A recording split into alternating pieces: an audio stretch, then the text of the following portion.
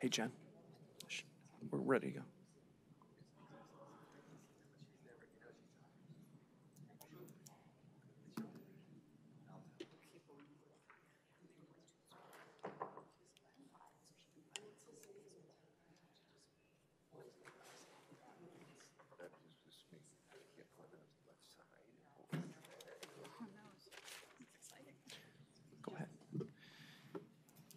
Okay, everybody, we're just expect, we just have a couple technical difficulties right now, so if you'll hold on so we can get up on the internet. Tired of waiting for everyone. Perfect timing.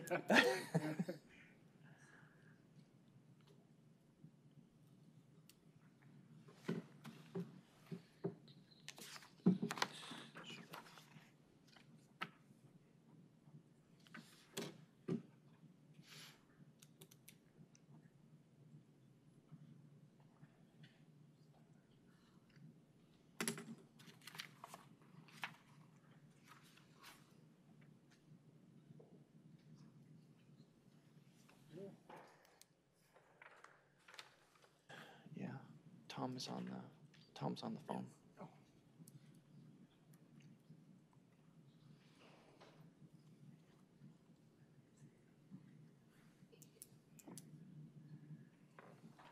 The broadcast is now starting. All attendees are in listen only mode. Okay, welcome everybody. Today is the uh, Board of Supervisors formal meeting. Uh, The date is August 9th, 2023. Um, So we've started the broadcast. Uh, Madam Clerk, will you please call the roll? Yes, good morning. Supervisor Gates, Here. Supervisor Galvin, Here. Supervisor Sellers, Here. Supervisor Gallardo, Here. Chairman Hickman. Here. Thank you.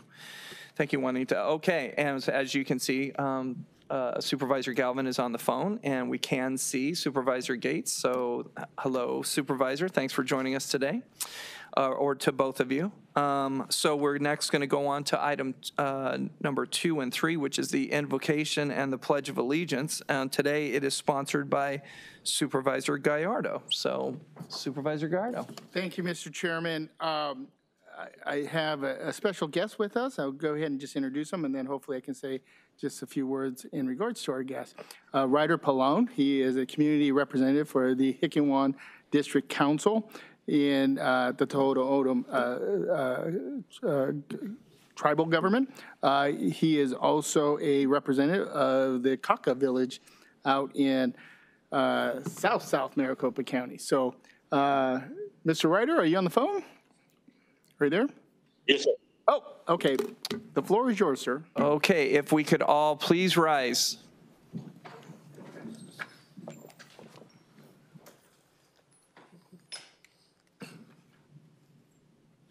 We could all please, uh, like you said, all rise and face to the east. Uh, in our prayers, um, as Native people, we recognize our Creator. And I know that a lot of people call him other names, Jesus, God. But us as Native people and O'odham people, we call him our Creator. And this morning, um, I'd like to everyone to face to the east because when we wake up, that's where we first look up to is the sun. So again, it's an honor to do this prayer for the Maricopa County Board of Supervisors. I appreciate your time.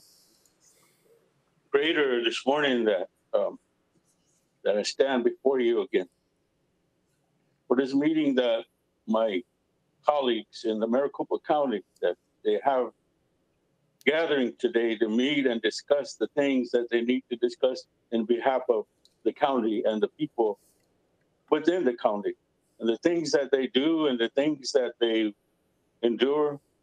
First of all, they're at the meetings and as well in their personal life. Creator, watch over them. Give them the peace of mind and the, the understanding of the people surrounding them the needs that, that needs to be met to, from now to till till till end time.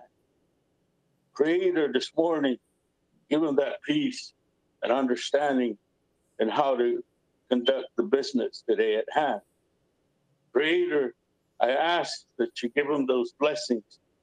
And the people in the in the auditorium, the people that are listening to their laptop or to their devices, whatever that is, Creator, give them that peace, because that's what we need for ourselves, first of all, to function as individuals. And I carry this feather for you, my Creator, the one that you've given to me to take care of these people. Masapa, I pledge allegiance to the flag of the United States of America, to his republic for which it stands, one nation, under God, indivisible, with liberty and justice for all. And again, appreciate it, people. Thank you. It's an honor. It's an honor this morning. Great, thank you very much. And Supervisor Gallardo. Thank you, uh, Mr. Ryder. Once again, it's great to see you there. Um, uh, It's always an honor to, uh, to be able to sit down and chat with you. We had a nice conversation last week, and I look forward to continuing those discussions in regards to uh, the, the, the nation as a whole, but even uh, your communities there, Cockaville and, and so on. Uh, So it was a great uh, honor to have you here. I appreciate it so much. Uh, Mr. Chairman, uh, Cockaville Village is a small, and and correct me if I'm pronouncing it wrong, sir. Um, It's a small village. It's part of the Tohono O'odham Nation. It is within Maricopa County. Uh, My first uh, stop there was almost 30 years ago with, with Helen Purcell and Karen Osborne, part of the Elections Department. We went down there really for the first time to actually have a polling site there at the village. Um, didn't know what to expect. Uh, it took a, a drive, almost two hours or so. You have to go all the way into Pinal to Casa Grande, take another 30, 40 miles, and then back up into Maricopa County, another 30 or so miles. Uh, it's a beautiful drive, um, but it is remote. I mean, I, you would have never, I would have never known uh, Kaka Village uh, existed right there um, unless I was there to see it.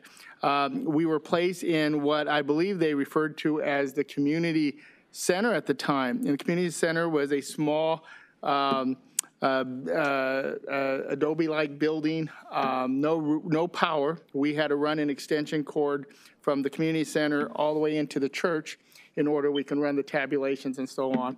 Um, But it, but we did it. We were able to vote for the first time, I believe, as a polling site there uh, in Kaka Village almost 30 years ago. It was like the early 1990s.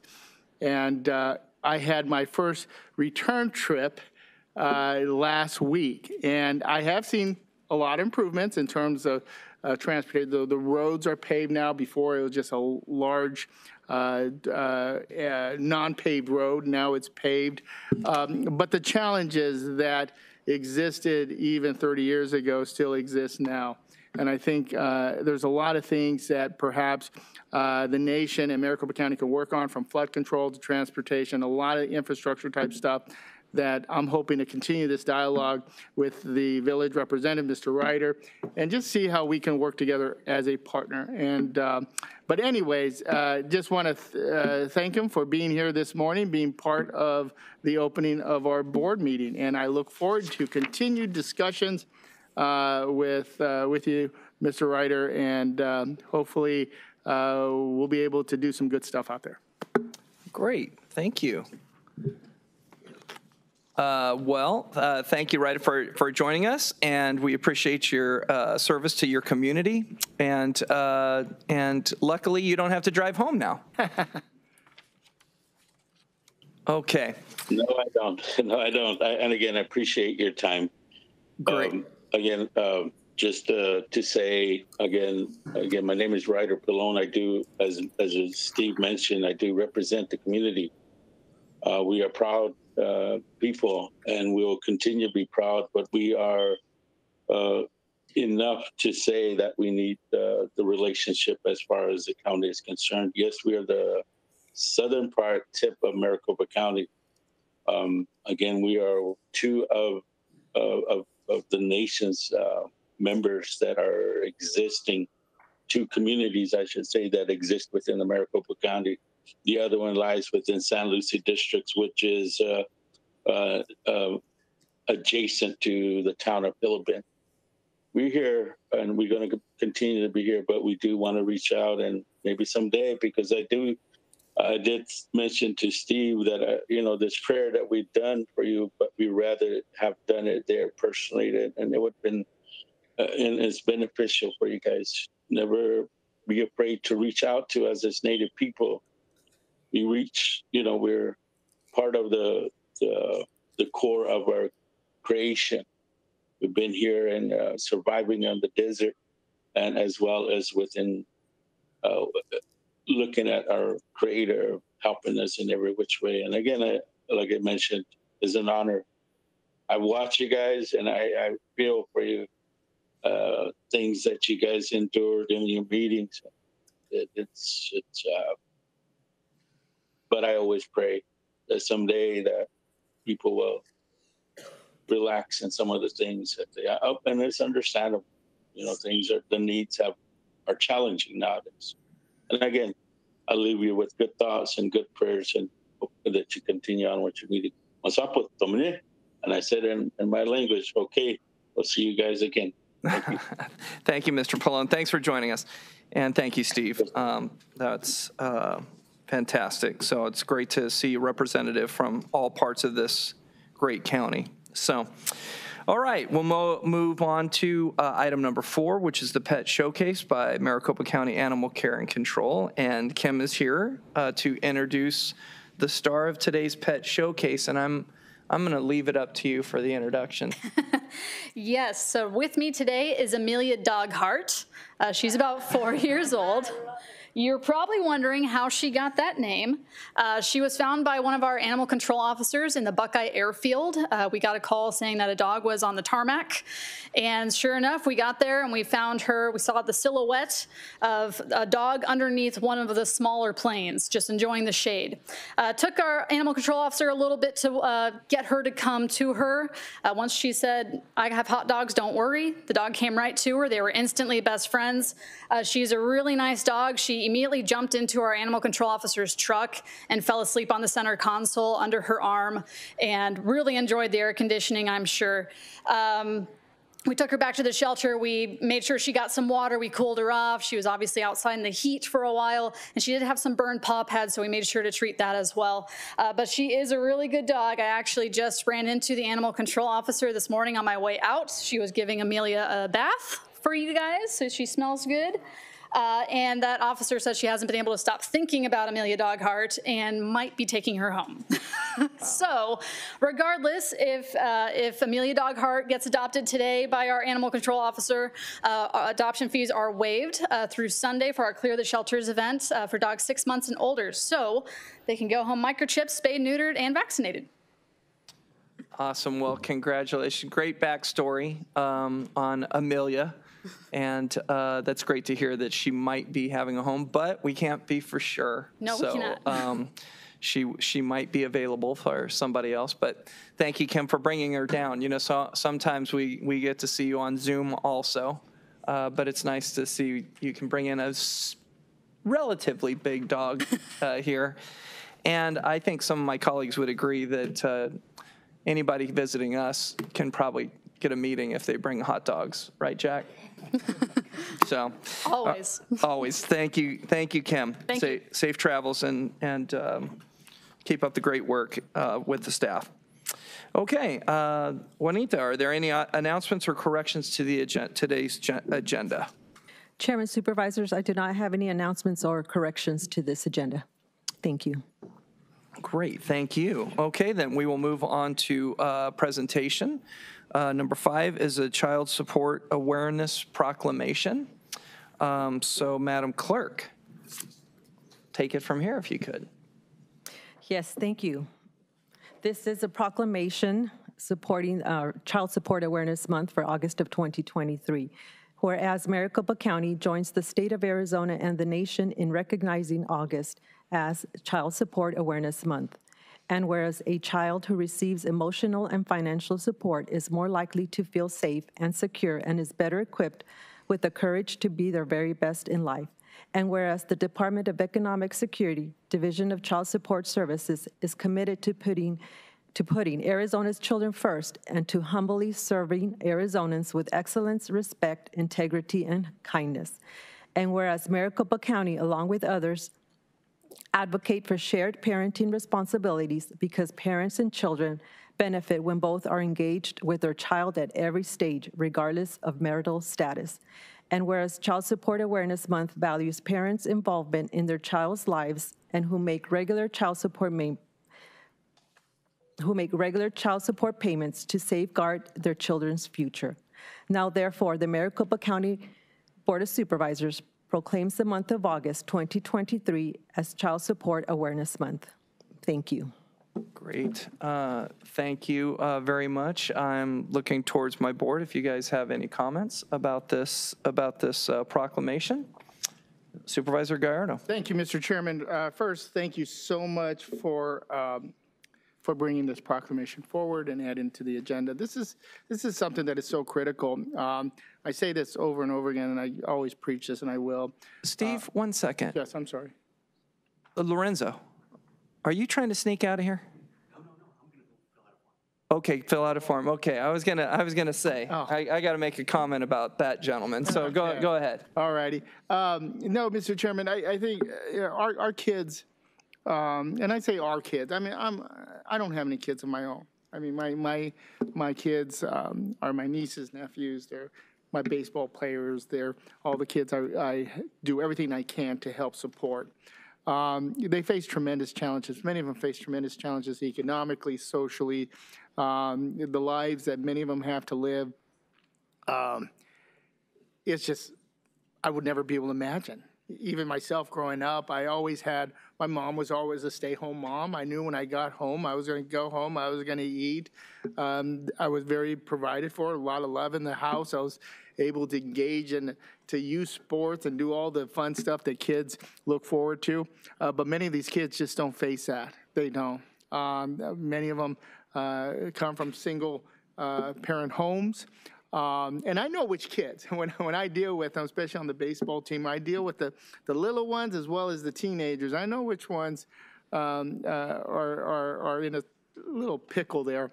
Um, but I think it's important for us to continue to bring up uh, and have the, uh, the awareness and that, that we do need to support um, uh, our, our, our kids. Uh, Parents need to step up, take responsibility, do what they need to do to help support and, and give the guidance. And a lot of times it's just love um, to many of these kids. Uh, I have kids that, you know, not one parent comes to one of their baseball games. I don't see them, not one. I don't see them at practice. I don't see them. And, and it's like, man, and those are usually the kids that do have some, some problems at home. More likely, it's a, it's a one, uh, one-parent home.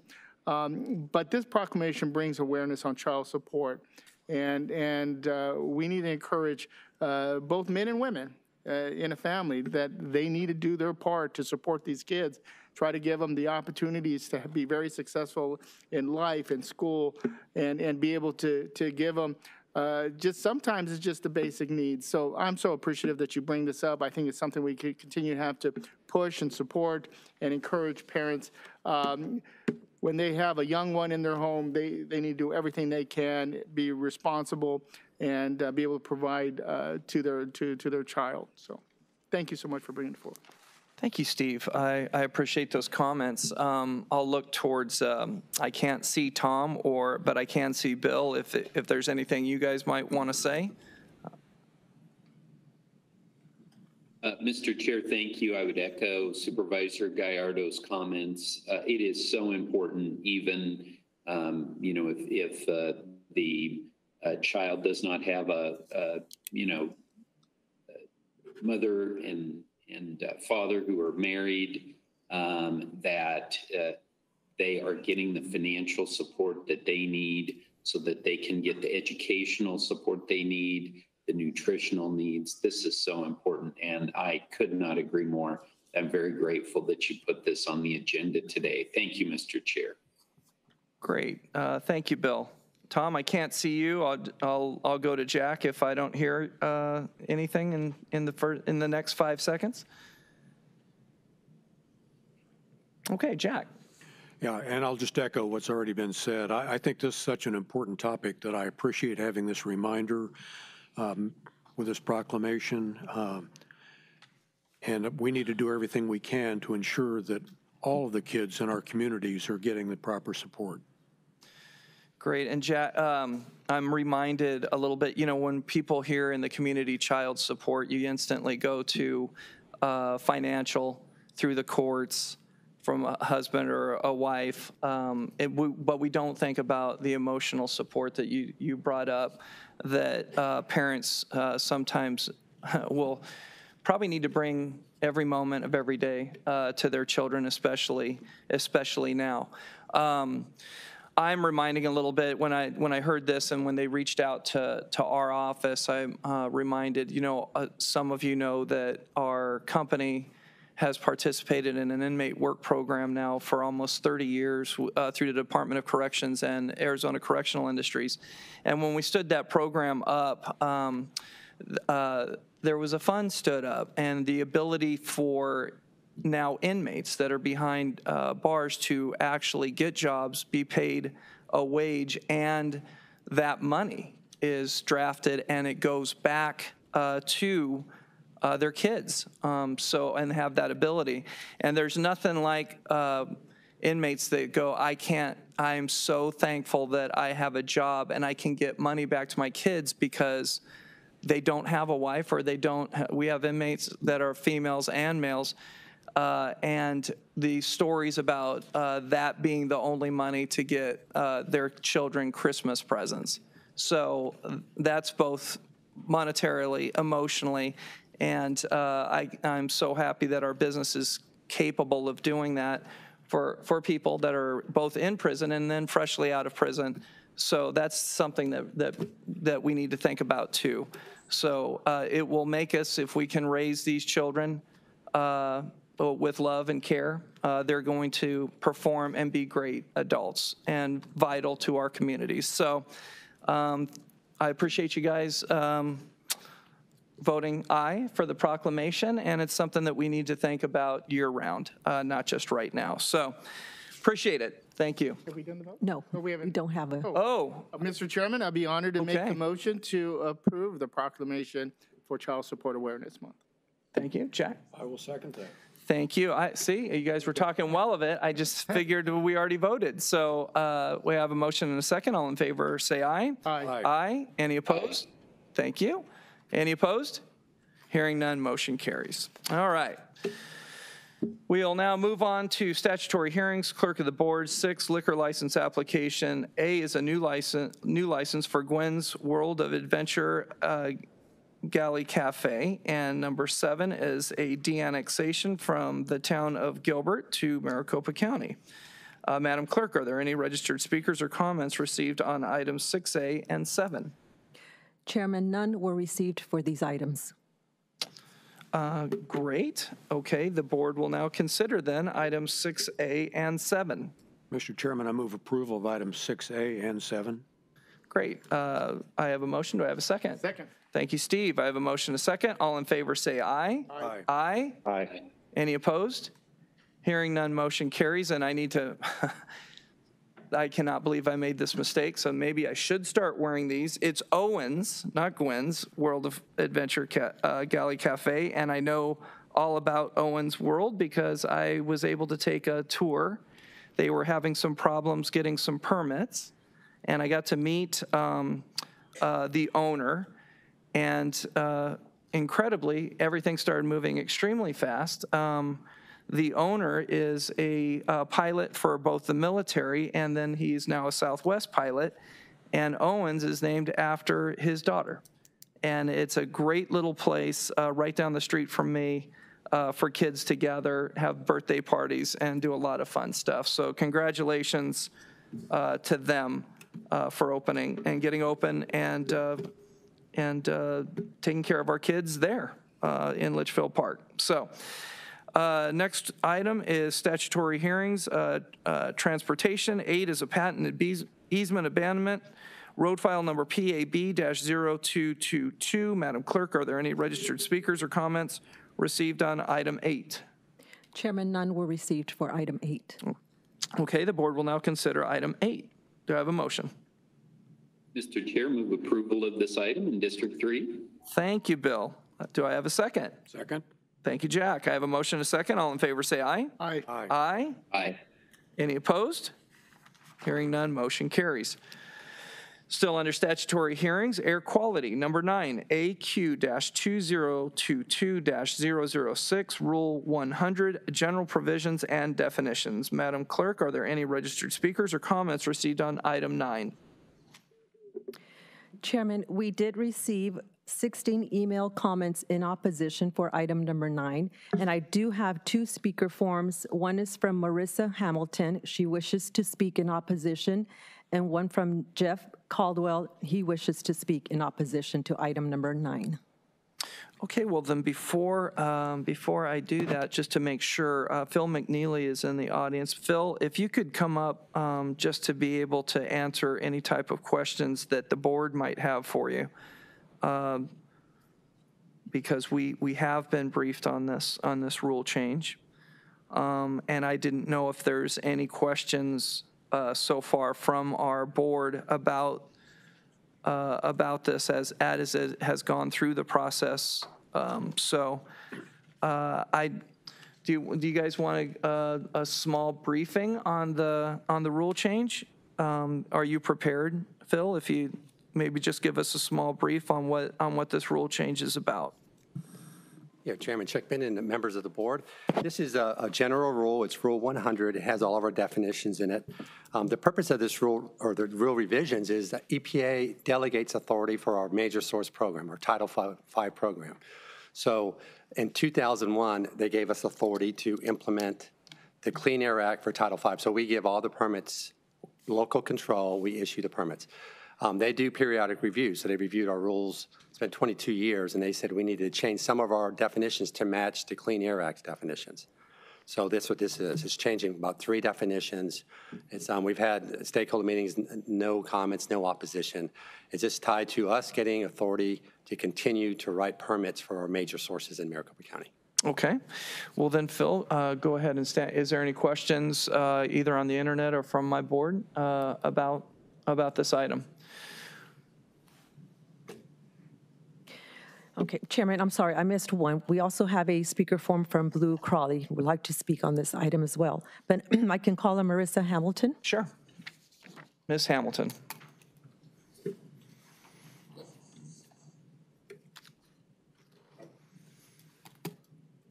Good morning and welcome. Good morning. Uh, Thank you. I will let you know that due to this, uh, on, on the agenda, you have two minutes. Okay. Um, Please, go ahead.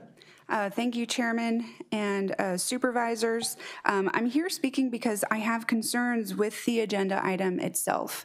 Uh, You didn't include what the actual definitions are that are changing. The briefing we just received doesn't actually say what the definitions are that are changing either. And so uh, with our open meeting law, um, I think that we should be explaining to the public what is actually being changed, what the definitions are.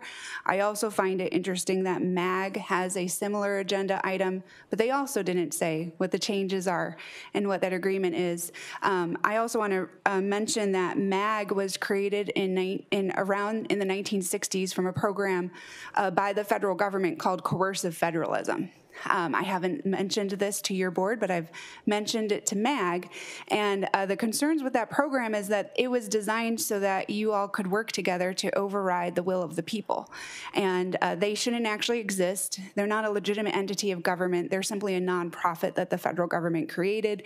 Uh, and their intention with all of with uh, with working with the federal government, and I'm concerned that this is your intention too, is to use clean air guidelines to eliminate our ability to have personal transportation vehicles. So I'd like for you to be able to tell us what these definitions are. I would have appreciated if we had that before I actually used my public comment time. Um, but I am concerned that this board, because you haven't really compare, uh, cared about the will of the people or our freedoms um, really in anything, and, and I'll be talking further about that with your health appointment today. Uh, but this is concerning to me. What are you doing to protect our freedom from the federal government where their clear intention is to eliminate our transportation freedom? Thank you. Okay, thank you. Um, I don't know how to respond to that because we, we have had things on the agenda and, and there's, and there's backup material associated with it. I, I didn't, Jen, Jen, would you like, as county manager, to say anything about, about this and our interface with MAG? Uh, Chairman, members of the board, with all of our rulemaking, we have a very robust process called EROP, Enhanced Regulatory Outreach Program, where all of the documents are located online, and we include stakeholder and other public meetings, including at the Board of Health. And the MAG item is actually separate from this and not related to our rule, and it is for them to um, develop a plan in association with all of the cities in, in Maricopa County so that they can then access about $4 billion in federal money for infrastructure and um, other methods to reduce ozone. Great. That's your answer as well, Phil. Okay, you're the, you're the agency head, and I appreciate you being here uh, to be able to answer any questions that we have on, on uh, these types of items. Um, Okay, um, Next, I will call on Jeff Caldwell.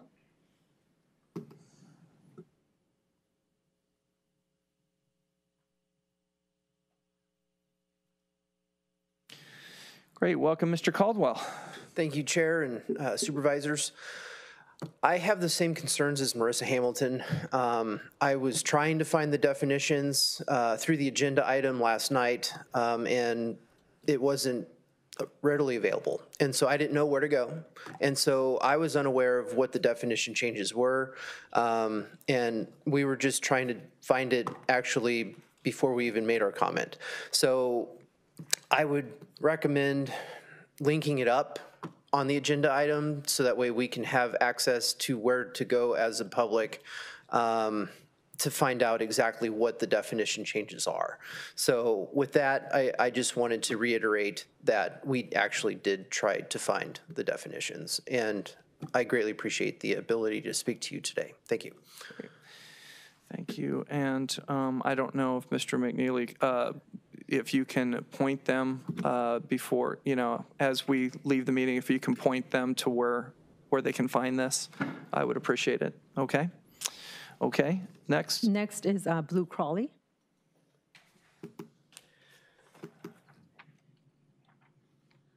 Okay, good morning, Blue. Good morning, and looks like it's going to be another one of those good days. And glad that you do participate as you do. Um, We're about to go into a uh, ozone violation.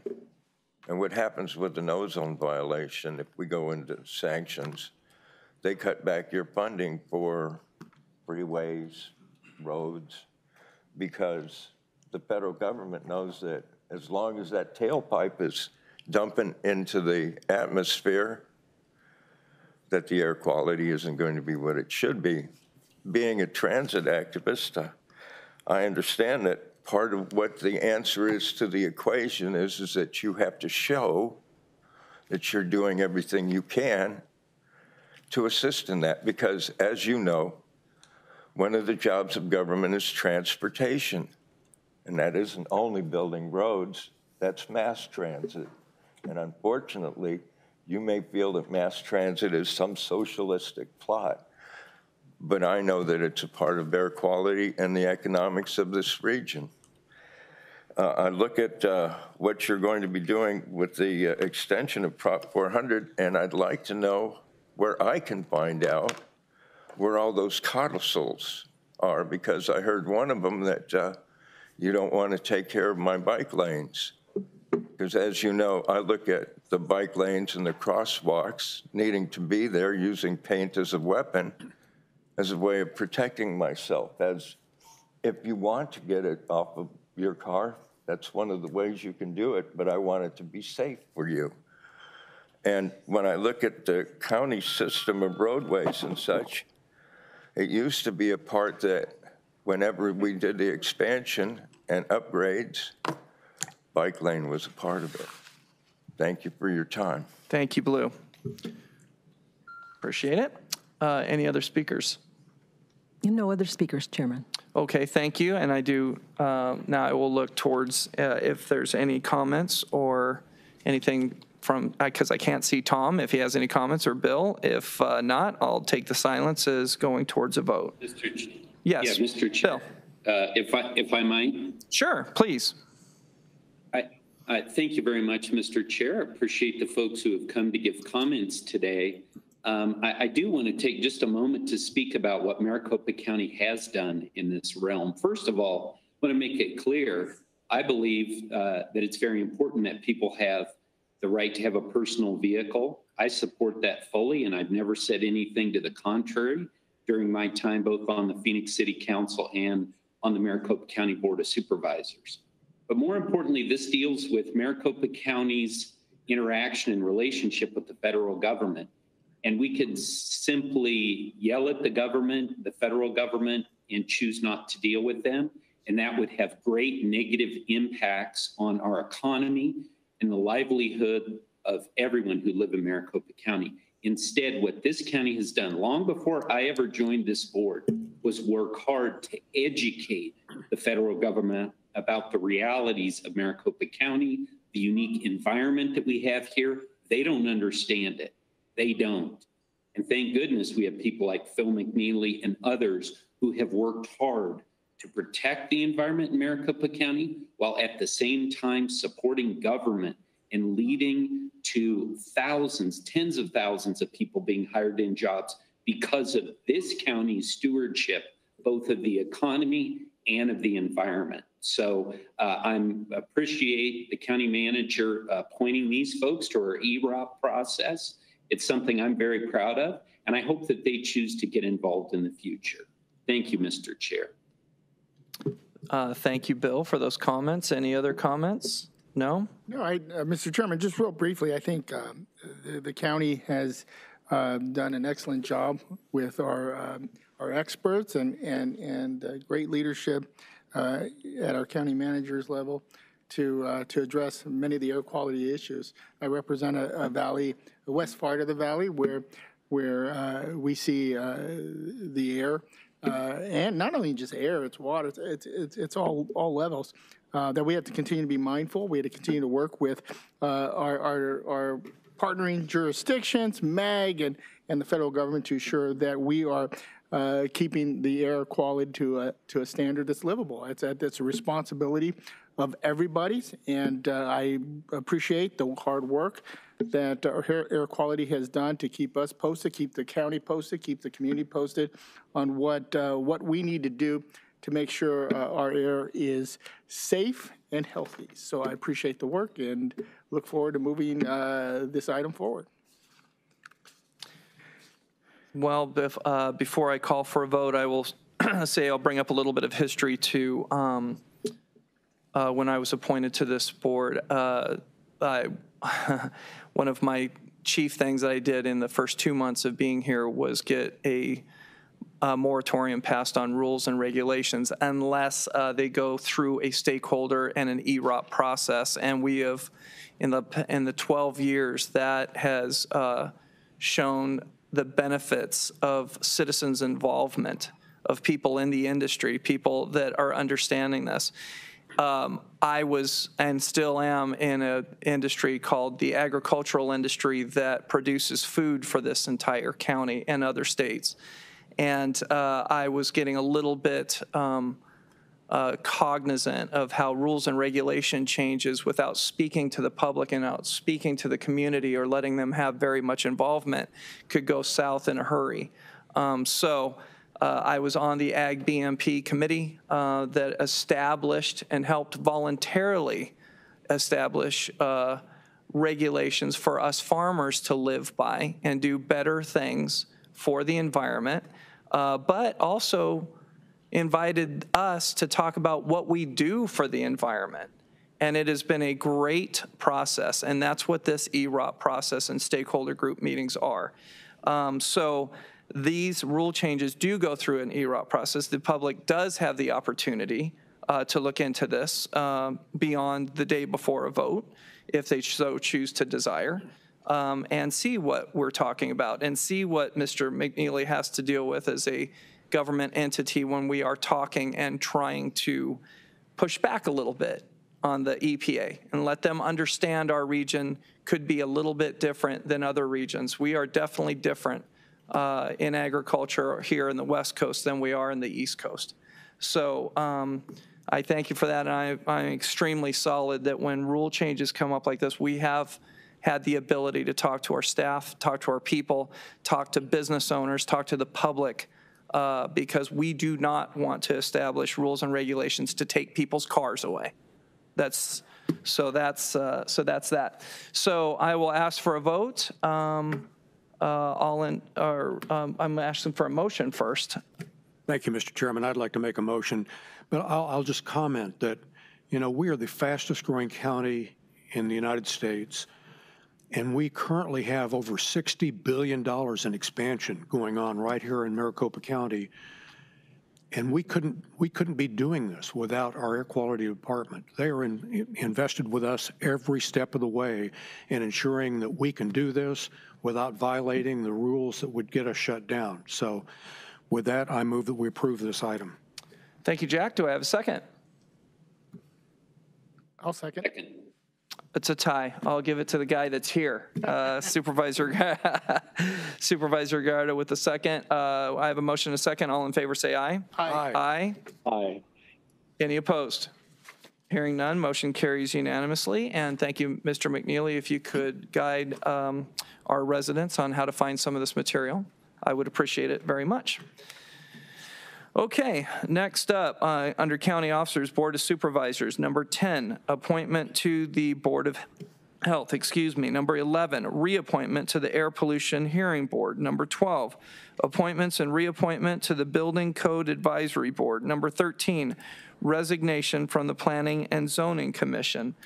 Um, And then under County Attorney, item number 14 is an MOU with the FBI. Excuse me, Chairman. yes. Before we move forward with these items, if we can take item number 10 separate, we do have a speaker forms for item number 10. Item number 10 only? Okay, so looking for a motion on items 11, 12, 13, and 14. Mr. Chairman, I move approval of items 11, 12, 13, and 14 with a comment. Okay, let's see if you have a second. Do do you have a second? Is there a second? I'll second. Thank you, Steve. Uh, Vice Chair Sellers. Yeah, I, I just want to thank uh, Hondo Judd uh, for his service on the Air Pollution Hearing Board, and I appreciate that he's willing to continue representing District 1 in that position. Great, thank you, Jack. Speaking of the item before, somebody out of the, somebody out of uh, your community that, that helps us uh, with these things. Okay, uh, we have a motion and a second. All in favor, say aye. Aye. Aye. Any opposed? Any opposed? Hearing none, motion carries. We will now go back to item number 10, uh, which is the appointment to the Board of Health. Um, And we have speaker slips. Chairman, we have Marissa Hamilton. She wishes to speak in opposition to item number 10. Jeff Caldwell also wishes to speak in opposition. And we have Lorenzo Sierra, who is also available here to speak in favor of this item. Okay, so um, I just watched Miss Hamilton leave the auditorium, so if she comes back in in two minutes, um, uh, yeah, the other speakers, uh, Jeff Caldwell? oh, Mr. Caldwell, okay. Mr. Caldwell.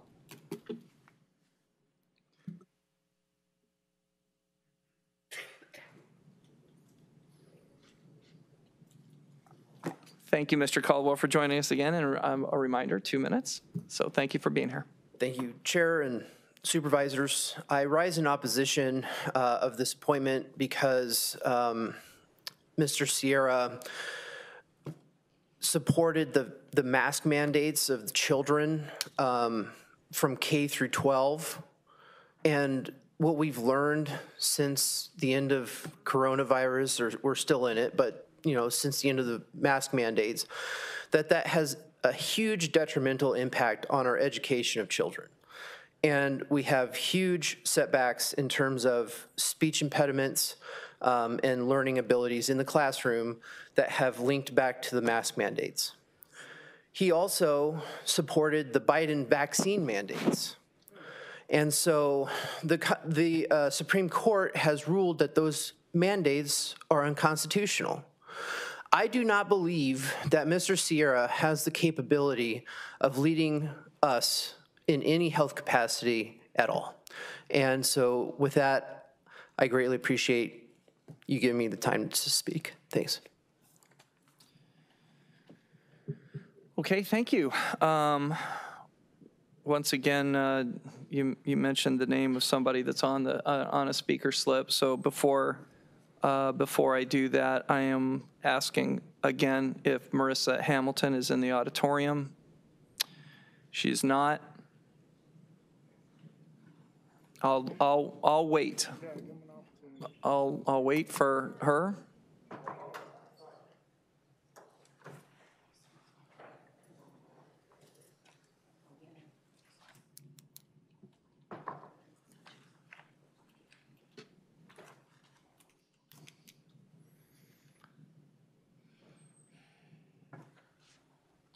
And before you start speaking, Ms. Hamilton, I, I called your name, and then I called your name, and I, I will say that I, I could have skipped you, but I know that you were speaking on the last issue to, uh, so I appreciate you jumping back up in here and, uh, and talking. Um, And again, I'll remind you, two minutes.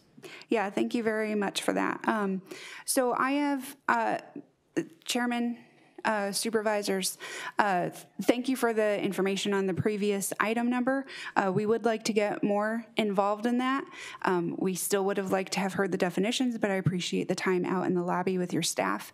Um, I have concerns on this, on this item number because uh, we, the person that you are um, appointing to this is someone that has a history of not supporting uh, medical freedom, uh, has a history of supporting mandatory masking. And, um, and I would assume he also has a position of supporting mandatory vaccinations.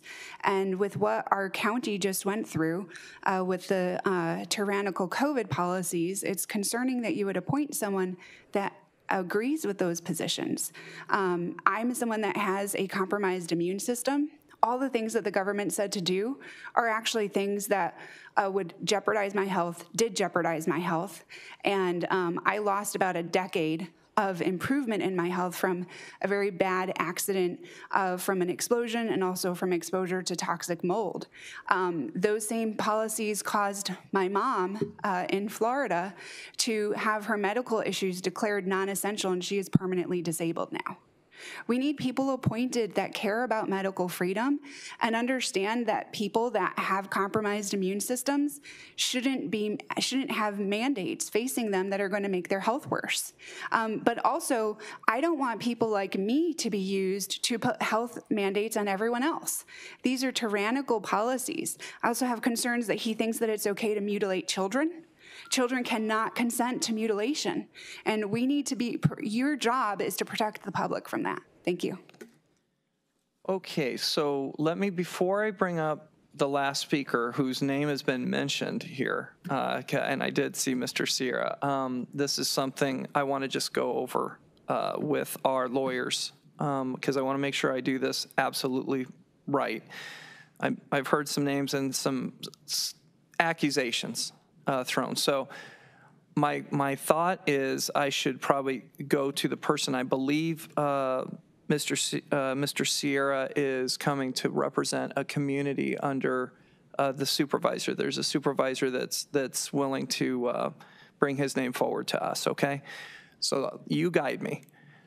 Do I need to go to Mr. uh, Gallardo first, or should, because I've taken speaker uh, slips now on this item, or do I, am I supposed to go to super, uh, to Mr. um, Sierra? Because I don't know if he's going to need more time to answer, and that's clearly uh, said that if you bring things up, that person has the ability to answer, and I don't know if I need to give him more than two minutes um, to answer. This is not an inquisition. Uh, This is selecting a, a member of the community that feels strongly that they can help us in a space, and it's coming through a certain district. So I need you to guide me right now. Where, where should I go with this? Mr. Chair, the person who was mentioned uh, would have the same right as anyone else to come up and speak for two minutes. Alternatively, or in addition, you can involve other members of the board to see if they would like to expand the discussion, if they want to make statements, if they want to ask him questions. And I would say that that would be outside the normal two limits, two-minute limit. And so I, I think you have a couple options. He could come up and speak for two minutes if he wants to, or you can shift into uh, a different procedure where board members are able to ask questions if they want to do that. Um, So I think you have a couple options. Okay, so I'm going to go off the speaker slip for a second. Um, Mr. Sierra is rising up through uh, District 5. Um, So uh, Supervisor Gallardo, what's your pleasure? Would you like to make a a few statements, or would you like to have Mr. Sierra come up and I speak for think- two minutes? I think, Mr. Chairman, we allow uh, Mr. Sierra his, uh, his opportunity to give his two minutes. I'm ready to make a motion, and I will um, speak in regards to the reasoning of my motion. Okay. Um, So then I will invite uh, Mr. Sierra up. Uh, We are very familiar with Mr. Sierra. He did serve, he did serve with our legislature um, uh, in Supervisor Gallardo's district, and um, I appreciate you seeing, stand- st- standing in front of us, because I did follow the news back uh, during COVID, that you were in a hospital bed. And I just want to say, I'm so happy to see you standing in front of us today because it got dicey with you and your and your family, including your wife. So, um, welcome, and please address the board. You have two minutes. Thank you, Mr. Chairman, uh, supervisors. Uh, I'd like to start out, Mr. Chairman, by quoting a uh, national figure who said that the vaccine, the creation of the vaccines was one of the greatest accomplishments in human history. Now, as you mentioned, uh, Mr. uh, Chairman, I did go through as nasty a bout of COVID as you could. Uh, Clinging to life, I, uh, I know that it was world-class surgeons and world-class uh, medical professionals at the Johns Hopkins uh, Hospital in Baltimore and sincere prayer from around the world, quite literally from around the world, that pulled me here, that got me to this point. As a public official, as a city councilman in Avondale, and as a uh, representative in the great Maricopa County District of District 5, my solemn duty, the duty I took most uh, fervently and responsibly, was the protection and well-being of the people I was honored to represent. Now, during the early days of COVID, this was the first pandemic of its nature in about a century. And the thing about the coronavirus, Mr. Chairman, is that in my naivety, I thought this was going to be the thing that brought our country together. This was going to be the unifying force. This was going to be a common enemy we faced as Americans. This enemy, Mr. Chairman, of, of the coronavirus, it didn't have any lands to invade. It did not have an ideology to defeat. And there were no motives to distrust. This was solely for the destruction of humanity at the cellular level. So, yes, I supported all of the things the people that spoke up against me in the name of protection of people because they should not have gone through what I went through. Thank you, Mr. Chairman. Thank you, Lorenzo. If you'll have a seat close, um, I do not know if uh, the person that's bringing your name forward to this board has any questions for you, or, uh, so uh, Supervisor Gallardo. Mr. Chairman, I'm not going to entertain nonsense. I'm not. Um, The fact is that we have a candidate that I've known for many, many years. He is a true public servant from a school district level, from a city council level, to the legislature. He is a public servant.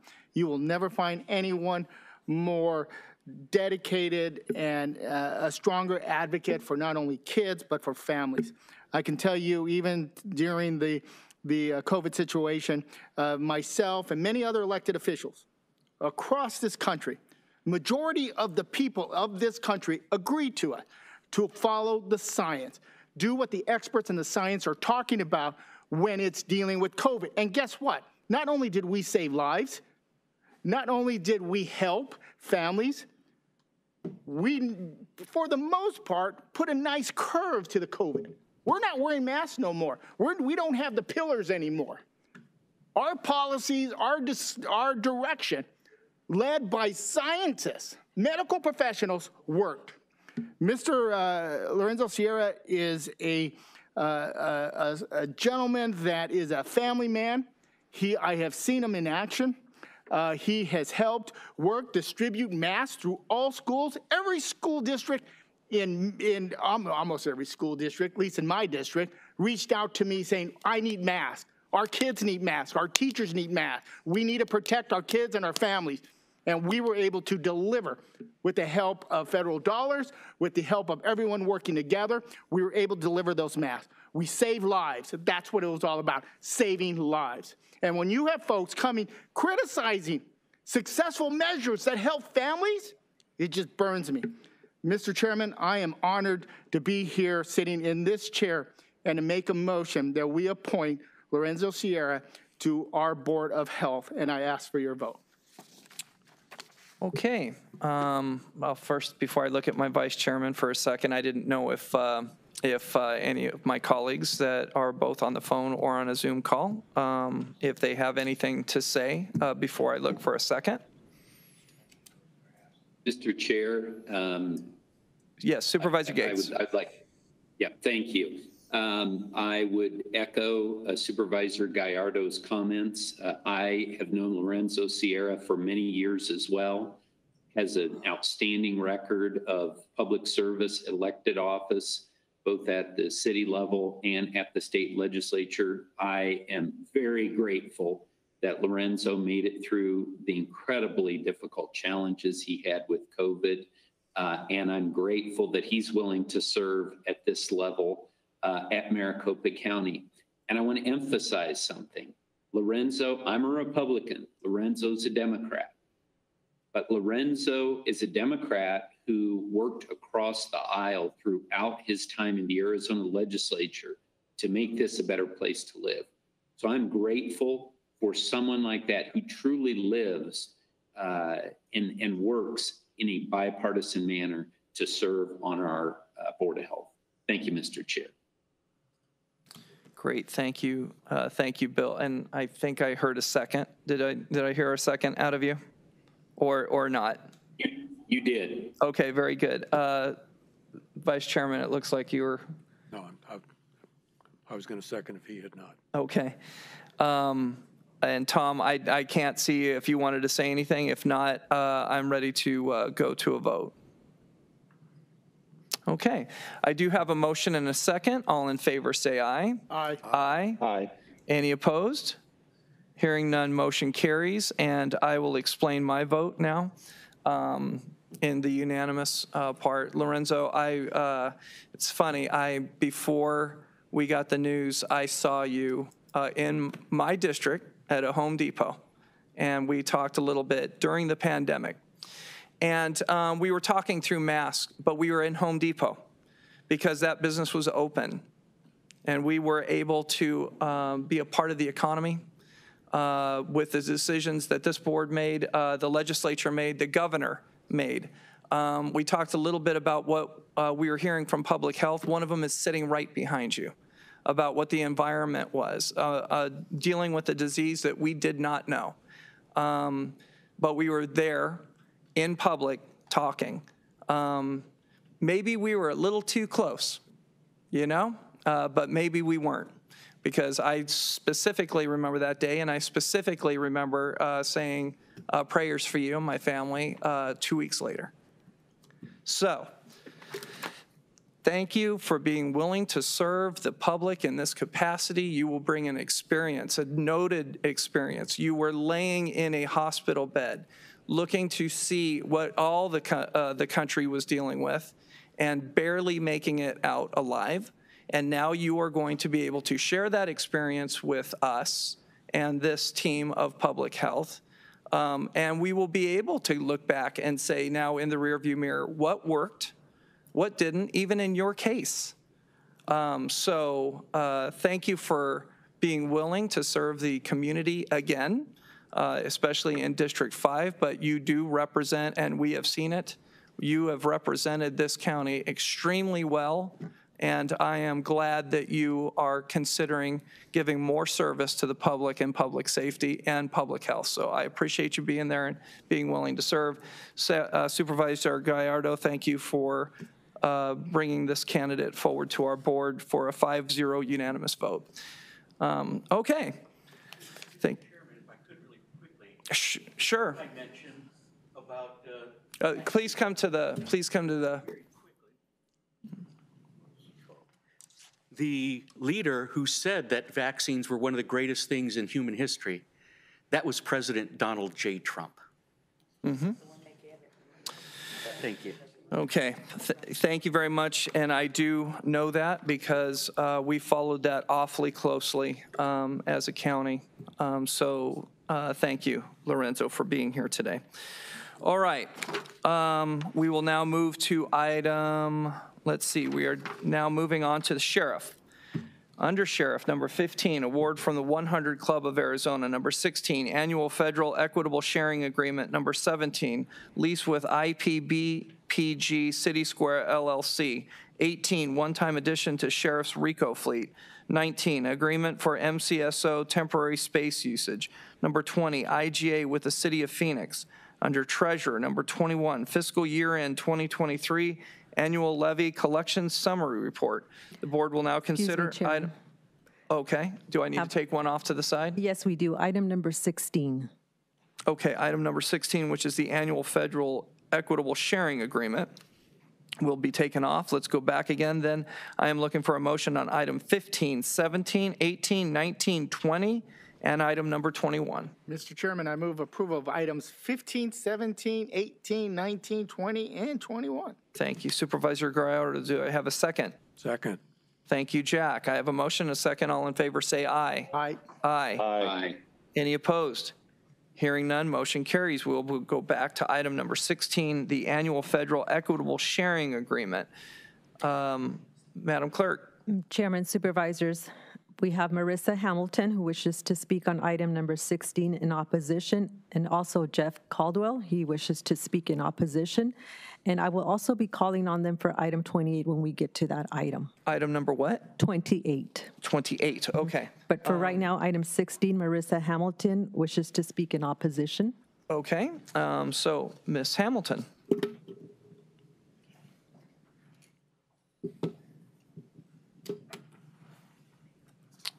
Okay, thank you for being here. Item number 16. Chairman, supervisors, um, I'm continuing here to speak on the same uh, topic of freedom. Um, This is a a consistent concern that I have, and I think my concerns here have been validated. So I'm glad that I'm here to speak again. Um, In this uh, uh, In this item number, um, there's concerns because I've noticed, uh, I travel at the airport frequently, and I've noticed that they are um, having facial recognition uh, there when you go to check in at the airport. Uh, This is something I always decline. Most people don't know that they can decline. It's the TSA, so they're afraid, and so they just uh, comply with what they want. Uh, But facial recognition technologies are something that uh, basically creates a technocratic dystopia.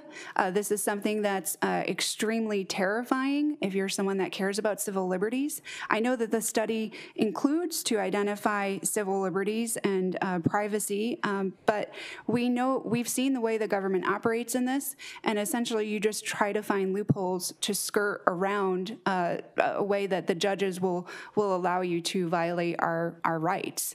Um, Our Constitution protects our right to privacy, and there is no way to do that with facial recognition. Uh, That's, it's impossible. It's completely incompatible with freedom. Um, So I'm concerned that you would uh, join this study. Um, Really, we should just have a policy that protects our Fourth Amendment all the time, under all circumstances. And facial recognition is one of those things that, um, especially the World Economic Forum has been in great amount of support of. They want us to be able to have uh, cameras so that those cameras along the streets can identify us from rec- facial recognition so the government knows where we're at at all times. This is dangerous. I ask you to, to oppose it and start supporting our freedom. Thank you. Okay, um, next, Jeff Caldwell? Mr. Caldwell.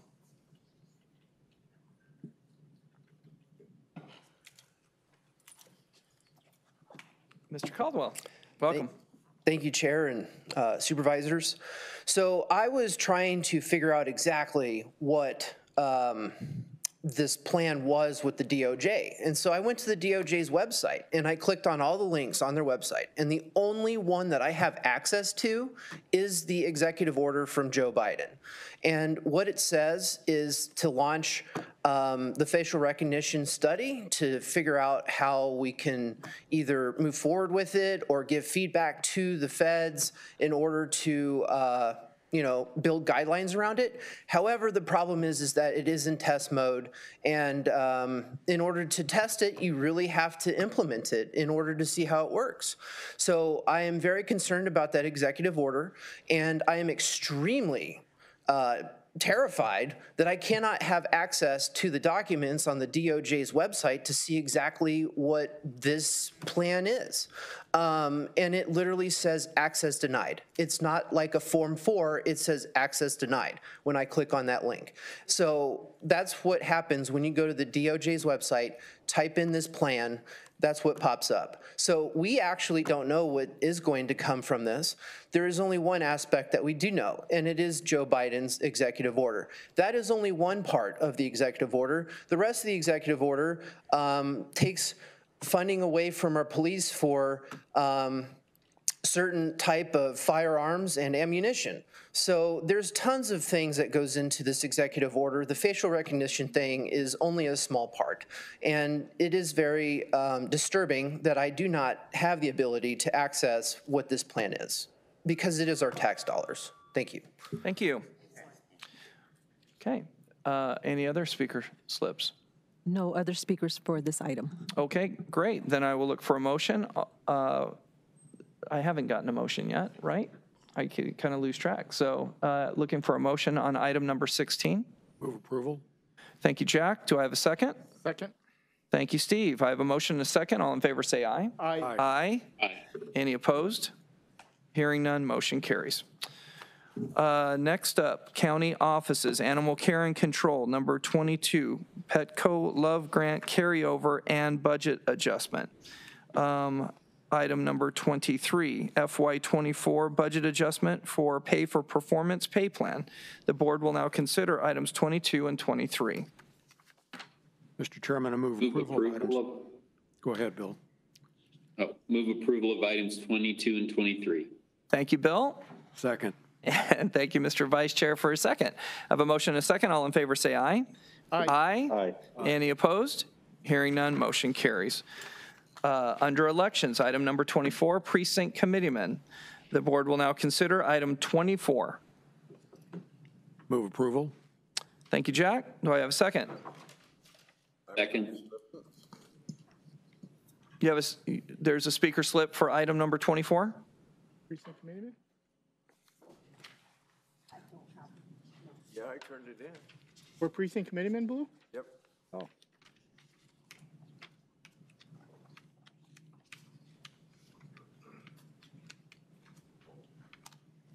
Let him speak and he can fill out a form. I'll, uh, So Blue, go, g- The ones I turned in. okay, so go ahead and, well, uh, if you don't have one, s- uh, fill one out real quickly. After, after which you speak, I'll let you, I'll let you go ahead. Oh, is, Figured out why. it was right there. All of them o- in yet. Okay. All right. So Blue, I'm glad I called you up. You had a speaker slip, you just didn't put it in the right place. Okay. Go ahead. All righty. Um, I would like to uh, get Jack and Bill to do a little evaluation of this program, but it would take more time than my two minutes. But what I'm trying to communicate is that right now, the way precinct committee persons are dealt with is that you get an appointment. And the way you get that is you go to your legislative district's meeting and petition them, say, hey, I, I want to be this, and they send a letter in to us, and boom, boom, boom, you guys agree to it. But then those precinct committeemen don't have the same power as those that are elected. So the process is, is that if you want to make your party a better participant now is the time you need to go to your different legislative districts, petition them to get onto this, and then in um, next year, at the beginning, you're going to need to take petitions out to make sure that you still have that position. So all I was doing is a little PSA saying, this is the way it's got to be done. Now, like I said, if I could get an evaluation from Bill and Jack on the way this thing works and what you get from it, I'll leave that for another time. Okay. Thank you, Blue. Is there another speaker Yes, I slip? just received another speaker form from Leslie Shepard. Okay. Ms. Shepherd. Okay, welcome. Hello.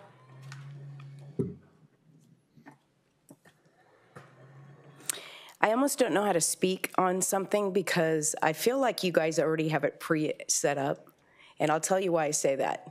When you use these comments saying that we're um, on the other side of the aisle, there's no other side of the aisle. We all know in this country that there's a uniparty issue going on. We've seen what's happened. And this thing about precinct committeemen, we've already seen where they're trying to take away the power from the precinct committeemen before, and they're highly important. It, it tells us in Article 7, Section 11, that there should be a general election of representatives in Congress and state and county and precinct officers on the, on the first Tuesday after the first Monday in November of the, of the first even-numbered year after the year in which the Arizona is admitted into statehood uh, thereafter. This is actually dealing, dealing with elections. We already have our, our precincts being altered into these one, you know, little voting stations. That's already a violation of the Constitution that's happening. And you guys are aware of this. Mr. Gallego, you like to have, I mean, yeah, yeah, you like to have a lot of indignance toward things. Matter of fact, you like to elevate your voice when you get really super excited. Well, I want to raise my voice with you and just let you know. You know, when you make comments about the fact that people have been saved by this, and you got there and you were listening to the statistics of how children have been abused by these masks that do You're not do going any different. You're going off topic. You, you have to stay on topic with, Okay. with the agenda So my item. topic is that the precinct committeemen are highly important. I don't know how your guys are trying to twist and angle it about whatever the subject is. I know Blue usually has an agenda when he comes here, and you usually agree with it. We can see a pattern going on here. But don't think for a second we're unaware that there's a uniparty going on here. And if you want to say something indignant to me, you, you're welcome to, and I'm, I'm happy if I get to respond. Otherwise, it's not fair that you get to say something and have a microphone and talk Ma'am, he is a- in an elected position and you are not. Yes, and he's so- elected by us, we Ma'am, the people, we're the governing over. authorities. Two minutes You're over. welcome.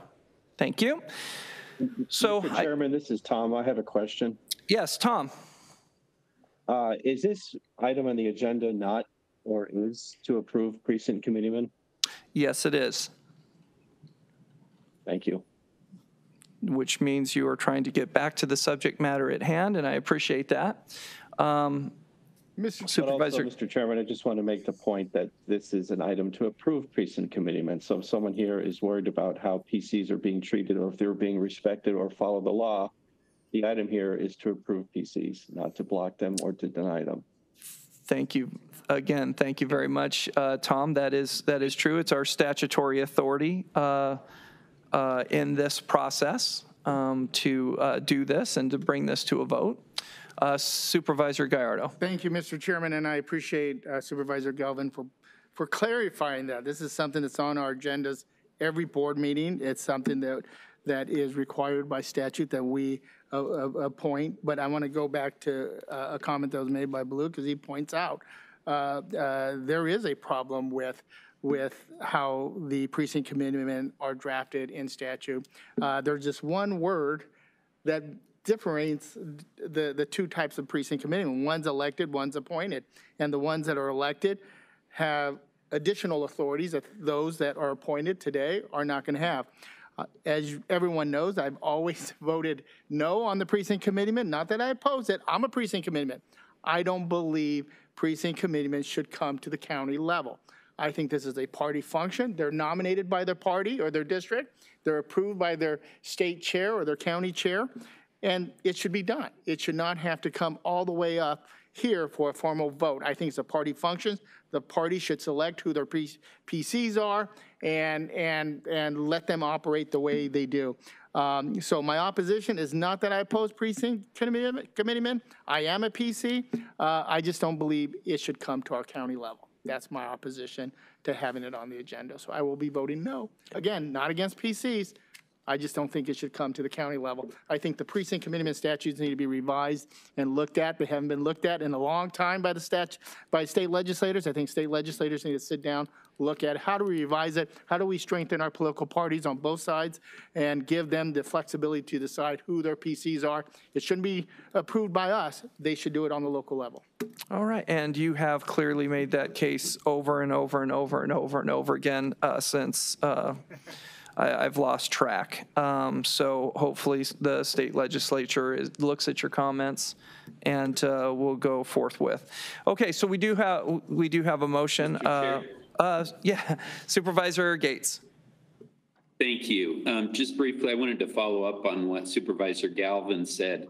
Not only is this board not blocking folks who want to become precinct committeemen, there is someone who's blocking people from becoming precinct committeemen, and that is the Maricopa County Republican Committee. I know that there are folks, good Republicans, who want to become PCs, but they're being blocked. Their names are not being forwarded onto this board. And this board has no authority to appoint someone as a precinct committeeman who's not sent on to us. So I think that the folks who want to build the Republican Party are, should be focusing on the Maricopa County Republican Committee and the fact that they are not forwarding on names that they believe for some reason should not be sent on to the Board of Supervisors. Thank you, Mr. Chair. So before I, I take uh, that vote now, because we are at a motion a second, uh, Supervisor Gates, thank you for bringing that up because I know that for a fact, I've been getting a lot of phone calls uh, from, from uh, the Republican Party and people that are in the Republican Party that feel they are blocked. And um, it's something that bears further discussion. Uh, And if there needs to be a statutory change, that's not us. Statutory changes go through the legislature, as we've been reminded a thousand times here too. So, um, so thank you Supervisor Gates. So we do have a motion and a second. All in favor, say aye. Aye. Aye. Any opposed? No. Thank you Supervisor Gardo. That was 4-1. All right. Next up, uh, under Emergency Management, number 25, IGA with the Town of Guadalupe, City of Phoenix, City of Chandler, and the City of Glendale. 26, MOU between Maricopa County Emergency Management and Public Health with Arizona Department of Economic Security. Under Facilities Management, number 27, addition of a new project, West Valley Animal Shelter. 28, uh, changes to the total project budget in the 2024 capital improvement plan. And uh, item number 29, finance, funds, transfers, and warrants. The board will now consider, okay, Chairman, excuse me. Um, Item number 28, if we can take that item separate. okay. Item 28, and you have speaker slips? You have speaker forms for item number 28.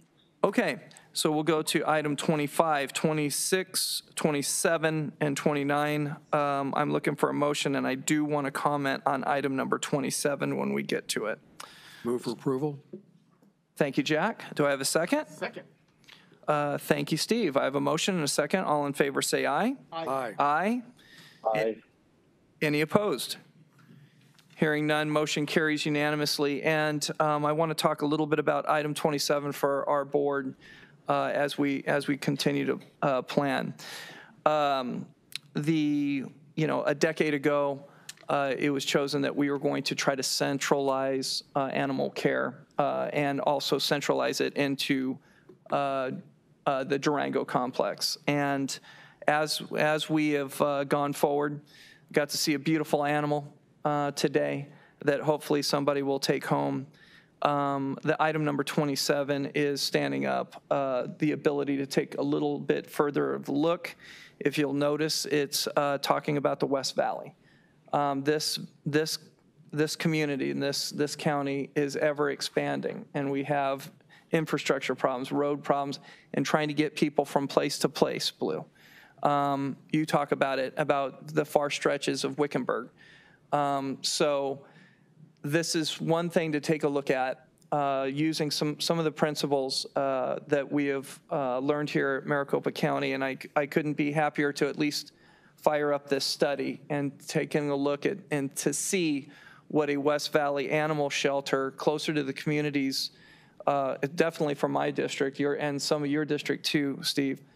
Um, uh, So it makes it easier uh, to take care of animals and to get them adopted out, quite possibly. Uh, We are currently working on a East Valley animal shelter. Um, This one might look a little bit different. We're going to learn on East Valley and, and building an East Valley shelter.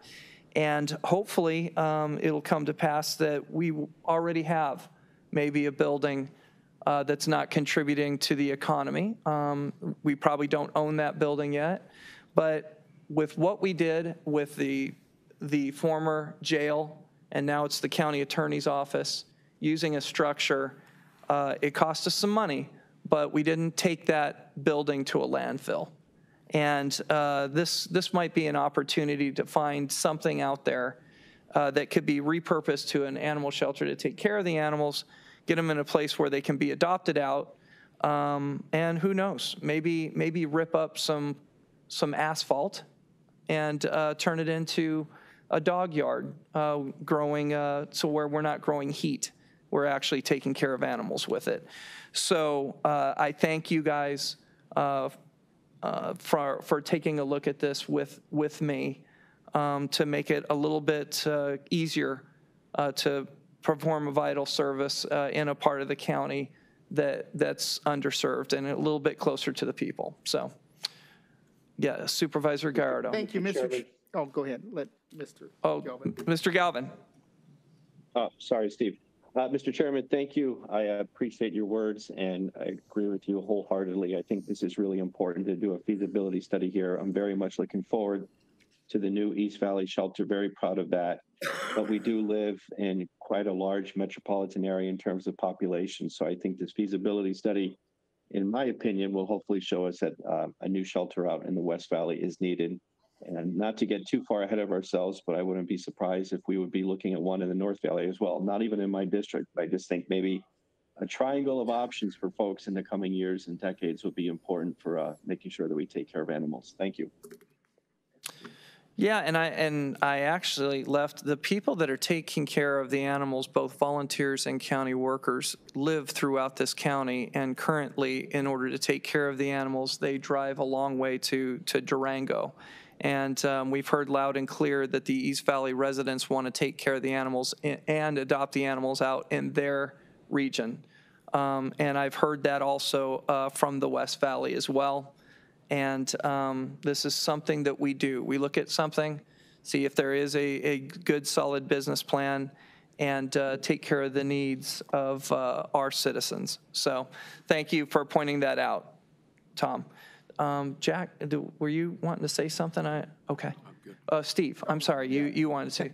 No, thank you, Mr. Chairman. I wasn't, uh, there are times or items or so many um, that are going through that there's times that we don't really point out and highlight, and this is one. I'm so happy you pointed this one out um, because it really shows that uh, we are taking uh, animal care very seriously here in Maricopa County. We really are. We're taking a step back. We're looking what's the best ways to to to address some of the current needs uh, relates to uh, animal uh, care and sheltering. Um, you know, we're the fourth largest county in the country, and we're growing uh, every day. I mean, come growth comes responsibility, and no different than let it be flood control, transportation, public health, whatever the issue is. Uh, animal care is one of those top priorities, and we do take it serious. So I'm glad we're moving forward. We're looking at how we can address some of the overflows and or the overcrowding, and how how do we address this? And so I'm so pleased to see this uh, as our first step in moving forward to address some of those uh, concerns. And I couldn't agree more with Mr. Galvin. It won't be long, I believe, until we start looking at a North Valley shelter as well. Great, okay. Well, thank you uh, for all, um, and I think we did vote on that, so, um, correct? Now we will go back to item number uh, 20 28. 28, okay? Uh, Juanita, I have speaker slips for item number 28, which is changes to the total project budget in the FY24 capital improvement plan. Chairman, I have a speaker form from Marissa Hamilton and Jeff Caldwell. Both wish to speak in opposition to item number 28. Okay? Uh, Marissa?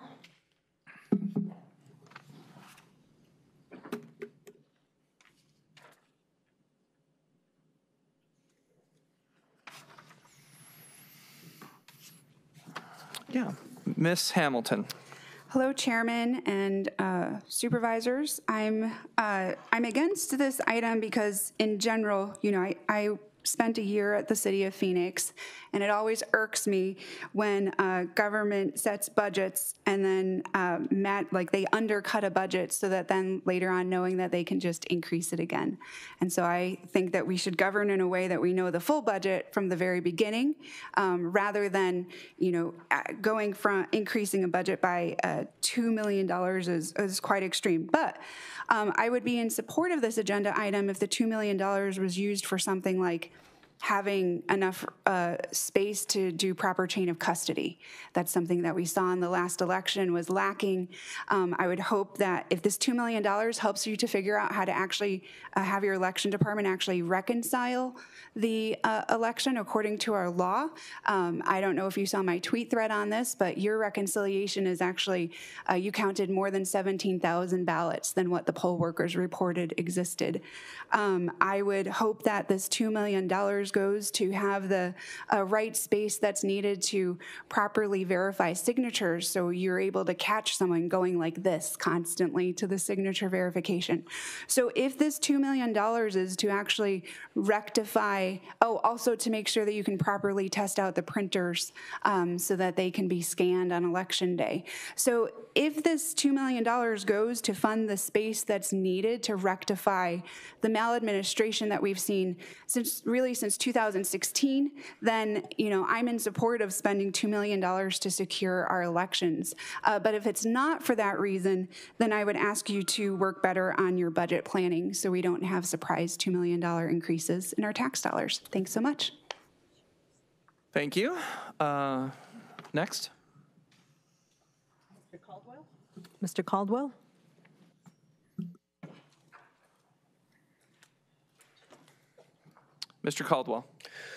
Chair, um, I want to call you council members, but we're it's the board of supervisors, supervisors. Um, I also echo what Marissa Hamilton said. We need to enhance the security of our elections. And if this isn't going towards that, then I do not support it. And I'll keep it at that. Thank you very much. Thank you.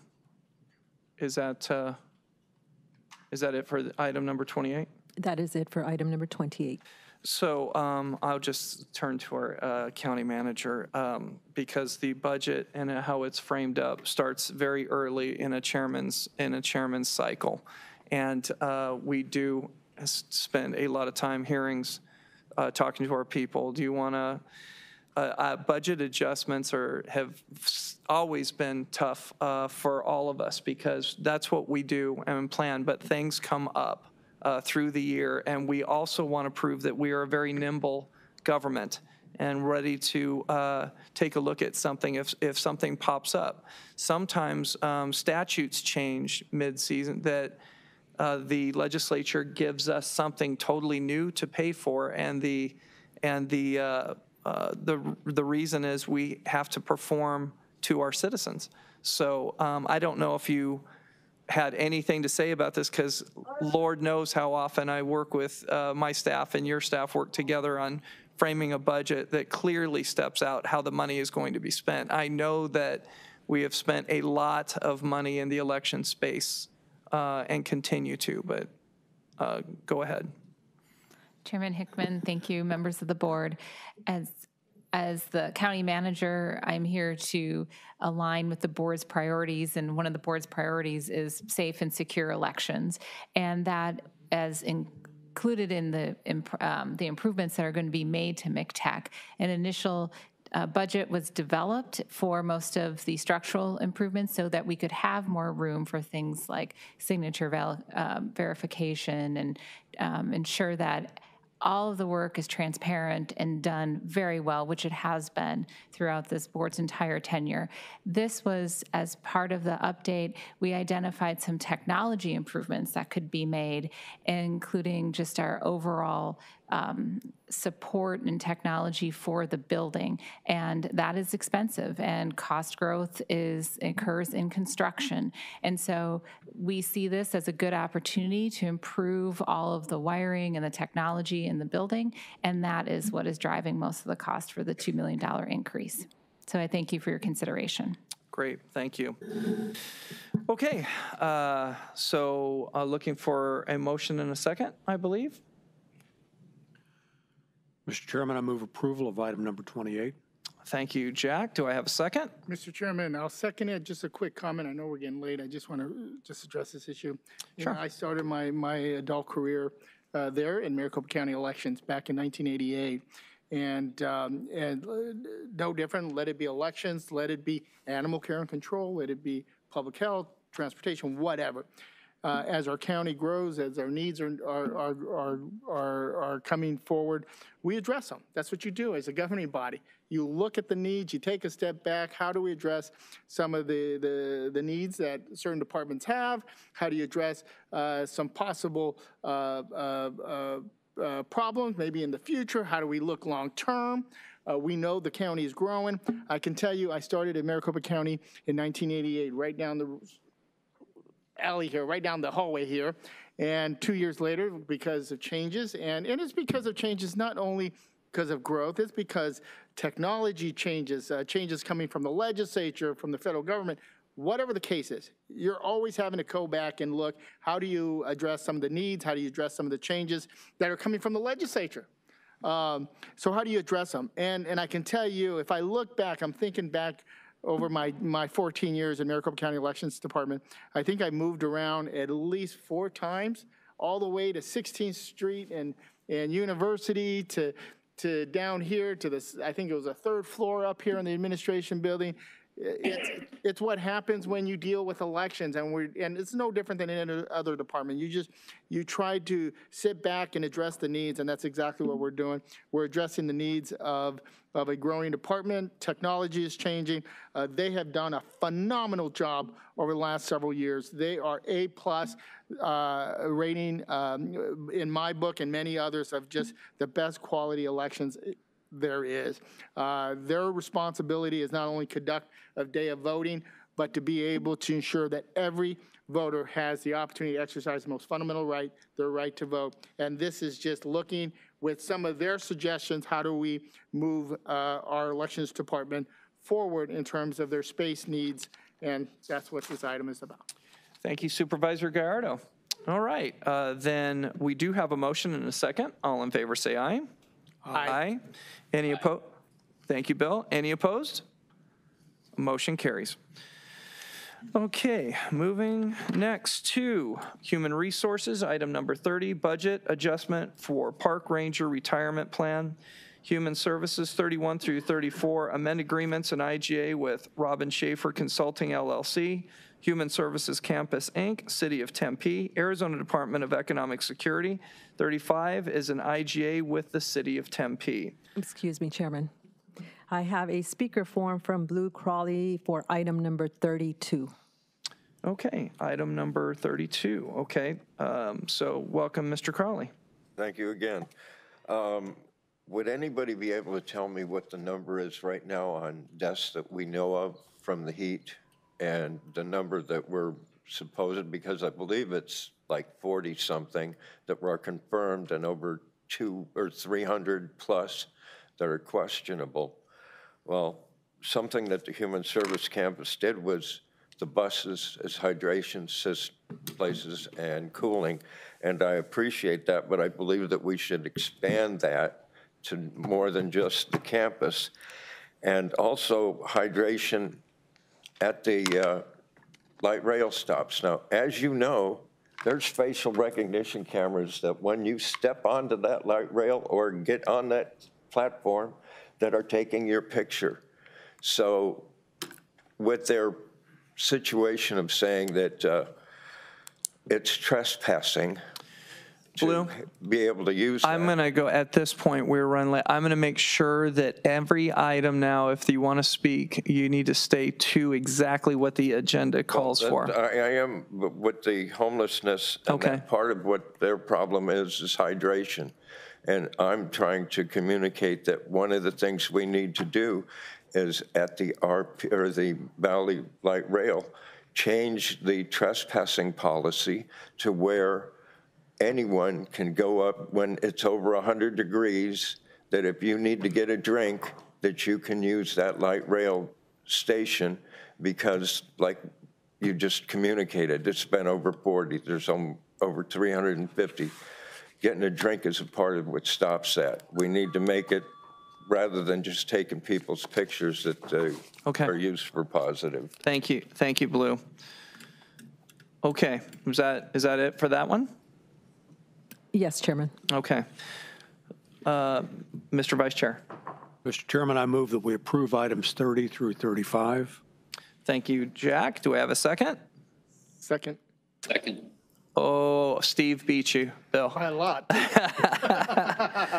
Okay, I have a motion and a second. All in favor, say aye. Aye. Aye. Aye. Any opposed? Hearing none, motion carries unanimously. Okay, under Parks and Recreation, 36 is a permanent addition to fleet. Under Procurement Services, 37 cooperative purchasing agreement with Kitsap County, Washington. Under Public Health, number 38, contracts for substance use prevention and response interventions. Number 39, affiliation agreement with Sun Produce Co-op. Number 40 is a contract with Maricopa County Special Health Care District. The board will now consider items 36 through 40. Mr. Chairman, I move approval of items 36 through 40. Thank you, Jack. Do I have a second? Second. Yeah, I didn't Second this one. Oh, Bill did not want to second this one. Okay, well, we'll see how he votes. So I have a motion and a second. All in favor, say aye. Aye. Aye. And that's why Bill's muted. Uh, and So I have a motion and a second. Well, I think I heard a unanimous vote of aye. I saw Bill's lips move. Can you hear me? There, now I can hear, yeah, can hear you now. Yeah. No, I was, yeah, I was unmuted. Okay, so uh, I believe I have a unanimous vote uh, for approval, so thank you. Okay, under Public Health, continued 41, funding for contract with Arizona Department of Health Services. 42, funding from Nurse Family Partnership Incentive Fund. 43 through 48, amend contracts for immunization services and administration. Number 49 through 51, amend contract and IGAs with Asian Pacific Community in Action, Arizona Department of Health Services. The board will now consider items 41 through 51. Mr. Chairman, I move approval of items 41 through 51. Uh, Thank you, Jack. Do I have a second? Second. Thank you. Okay, thank you Supervisor Gallardo. I have a motion and a second. All in favor, say aye. Aye. Aye. Aye. Any opposed? Hearing none, motion carries. Under Transportation, number 52, City of Litchfield Park Annexation Ordinance Number 22262. Number 53, Fiber Optics Communication System Agreement with, with Gigapower LLC. 54, IGA with the City of Tempe. 55, Easement, Right-of-Way, and Relocation Assistance Documents. Excuse me, Chairman. I have Another speaker form from Blue Crawley for item number 52. Thank you, Blue. I appreciate it, especially in my community, Blue. Okay. Uh, The board will now consider items 52 through 55. Mr. Chairman, I move approval of items 52 through 55. Thank you, Jack. Do I have a second? Second. Thank you, Bill. We have a motion and a second. All in favor, say aye. Aye. Aye. Aye. Any opposed? Hearing none, motion carries. Under setting of hearings, uh, Clerk of the Board, 56, propro- proposed Grove Park Estates Irrigation Water Delivery District Impact Statement, and Planning and Development, 57, Planning and Zoning Setting of Hearings. The board will now consider items 56 and 57. Mr. Chairman, I move approval of items 56 and 57. Thank you, Jack. Do I have a second? Second. Thank you, Bill. I have a motion and a second. All in favor, say aye. Aye. Aye. Any opposed? Hearing none, motion carries. Under consent agenda, 58 through 61, cancellation of election and appointments to the Board of Trustees and Directors for College Park West IWDD number 68. Uh, Temple Annex IWDD number 82. St. John's Irrigation District, Barrage Manor IWDD number 3862. Treasurer's Collection and Disbursement Summary, 63, duplicate warrants, 64, tax abatements, 65, redemption of waivers for individuals and organizational exemptions. The board will now consider items 58 through 65. Mr. Chairman, I move approval of items 58 through 65. Uh, Thank you, Jack. Do I have a second? Second. Thank you, Steve. I have a motion and a second. All in favor, say aye. Aye. Aye. Any opposed? Hearing none, motion carries. Um, uh, Under consent agenda number 66, settlement resolution of property tax cases and claims, and Supervisor Gates has provided a note. Supervisor Gates. Yes, Mr. Chair, a potential conflict on this item, so I'll be recusing myself. Okay, thank you, uh, Bill. Um, Give me probably 20 seconds. I'll let you leave the dais. Okay, um, and I'll ask Scott if you could send uh, Bill a message uh, what- to get back on when you can. Uh, The board will now consider item number 66. Mr. Chairman, I move approval of item number 66. Thank you, Jack. Do I have a second? Second. Uh, Thank you, Steve. I have a motion, and a second. All in favor, say aye. Aye. Any opposed? Hearing none, motion carries. And we will invite Supervisor Gates back. Send him a message. Yeah, just, got it? There he is, okay. Thank you, Bill, thanks for rejoining us. Under Board of Supervisors Addendum, Transportation 67, Settlement in Maricopa County versus Jason Henry Rovey et al. Human Resources 68, Director Internal Audit Salary Adjustment. Under Treasurer 69, Chief Deputy Salary Adjustment. Under Environmental Services, number 70, Resolution for Settlement Authority for Environmental Services Director. Under Planning and Development, 71, Revised Resolution for Settlement Authority for Planning Director. The board will now consider items 67 through 71. Mr. Chairman, I move approval of items 67 through 71. Thank you, Jack. Do I have a second? Second. Thank you, Steve. Thank you, Steve, and almost again, Bill, but not I think quite. that was Galvin. Oh, that was Galvin, okay. So um, I do have a motion and a second. All in favor, say aye. Aye. Aye. Aye. Any opposed? Hearing none, motion carries. Under flood control, oh, sorry, we will recess as the Board of Supervisors and convene as the Flood Control District Board of Directors. Under Flood Control District, item 72 is a change order to contract for Oak Street Basin and Storm Drain Project. Number 73, easement, right-of-way, and relocation assistance documents. Number 74, amend IGA for Rawhide Wash Flood Hazard Mitigation Project. Under flood control addendum is number 75, resolution for settlement authority for our chief engineer. The board will now consider items 72 through 75. Mr. Chairman, I move approval of items 72 through 75. Thank you, Mr. Vice Chairman. Do I have a second? Second. Thank you, Supervisor Gates. I have a motion and a second. All in favor, say aye. Aye. Aye. Aye. Aye. Any opposed? Hearing none, motion carries.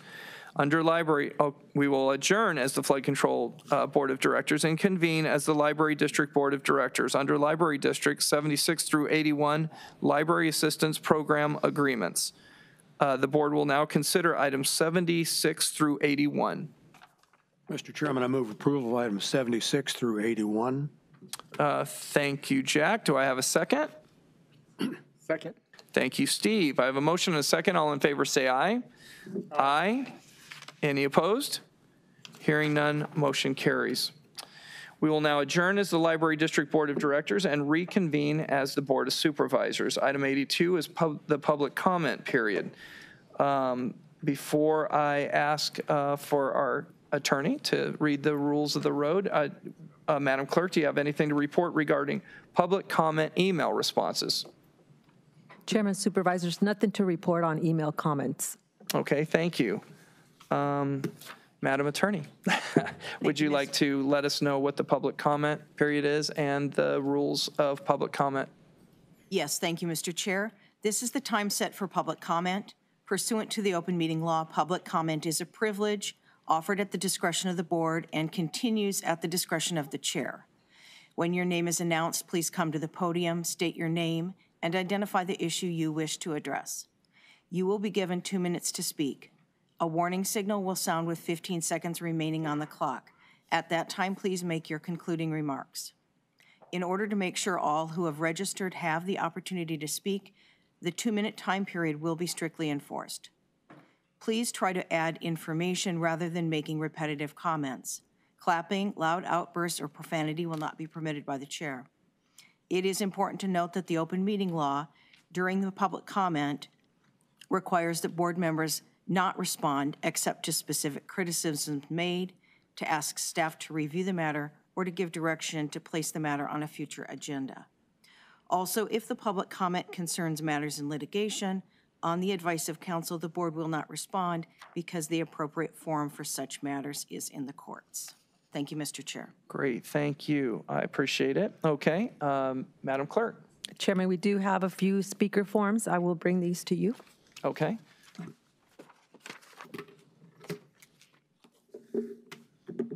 Okay, I will read these off in order, and for my colleagues on the phone, uh, there are one, two, three, four, five, six, seven, eight, nine, ten.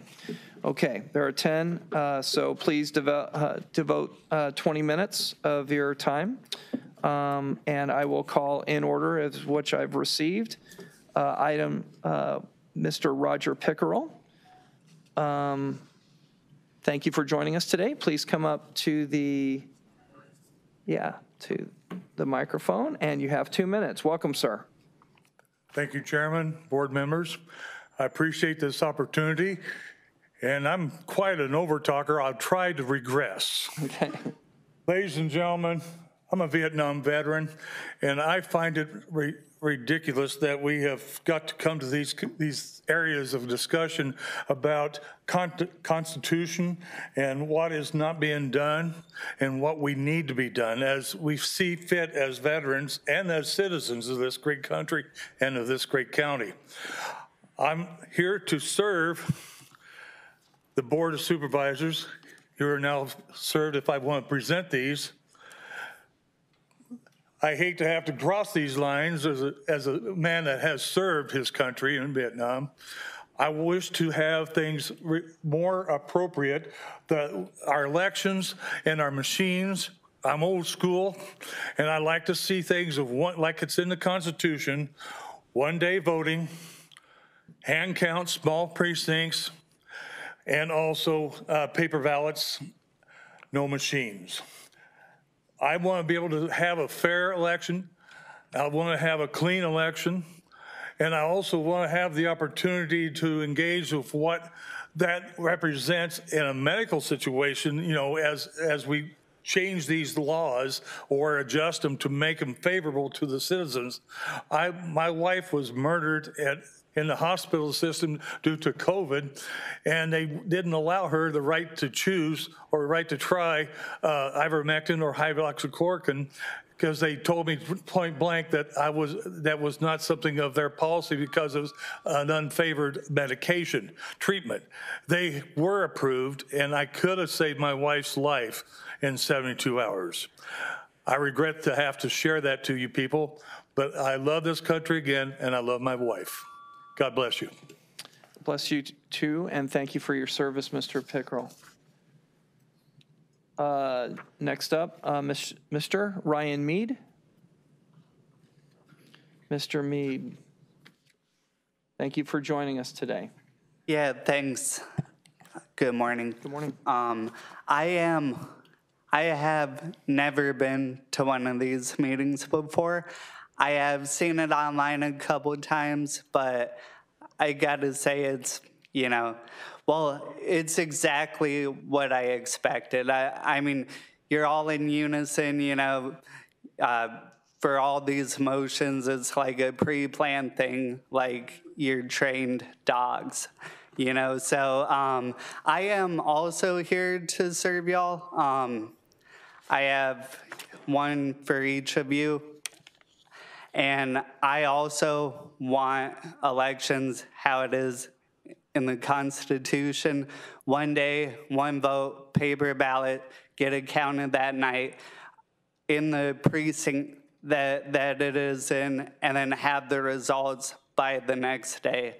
You know, we don't need election month, we don't need election year, we don't like, get it done. And the machines are obviously a way for you to rig elections, and they are no good. I worked during the last election. I volunteered, um, worked as a poll worker, so um, I saw firsthand our um, the the place I was at. We actually um, our tabulator machine things uh, went down, and you know uh, we had to tell people to put it in the drawer to be counted later. You know that that seems fishy, along with the paper that was being used um, was not the correct size. So with that being said, I want to give this to y'all and thanks. Appreciate it. I appreciate you coming and giving your opinion today, and thank you for working in the elections uh, area. Next up is Patricia Mead.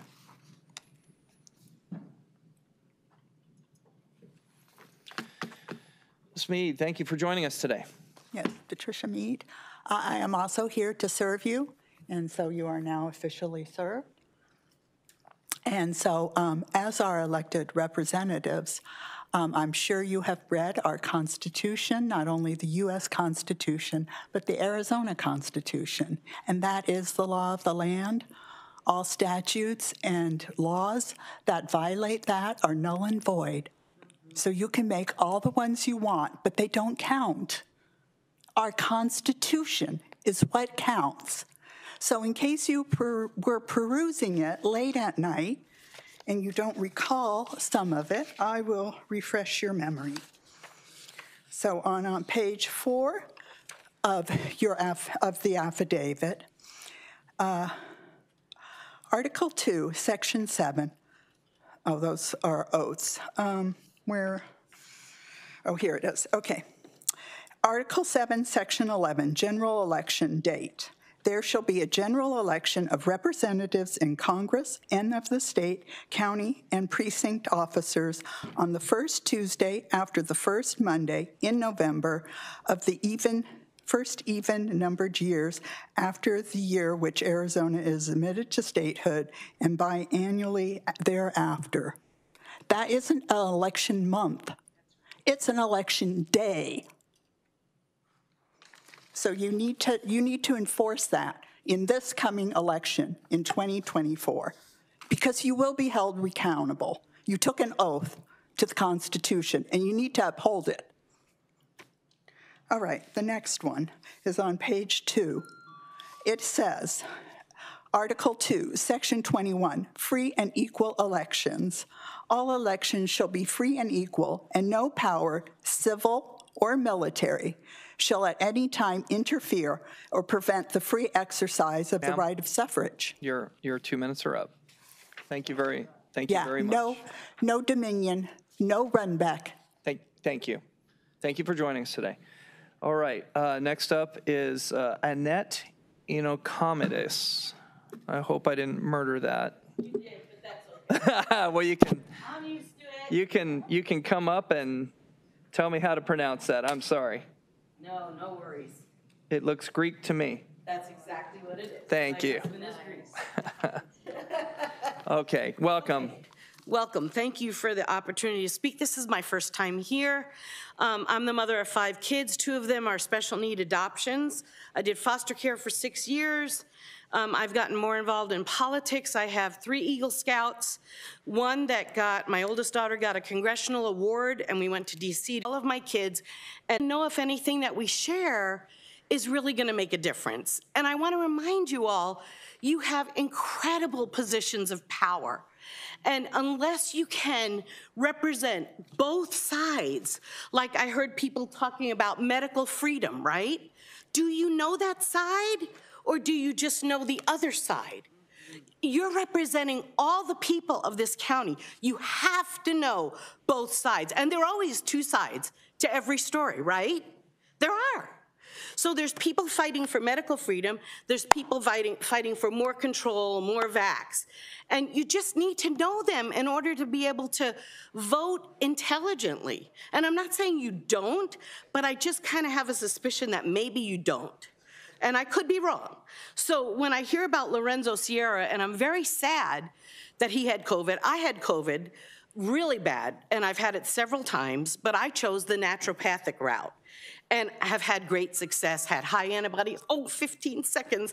anyway, I agree with Steve about precinct committeemen, PCs, but what I would share is, you're right, it doesn't belong at Board of Supervisors, but it doesn't belong at the political parties either. It belongs on we the people. 30 years ago, it was on the ballots, and we voted for it. Thank- and that's where it belongs. Thank, thank you very, thank you very much. No outbursts, thank you, as said.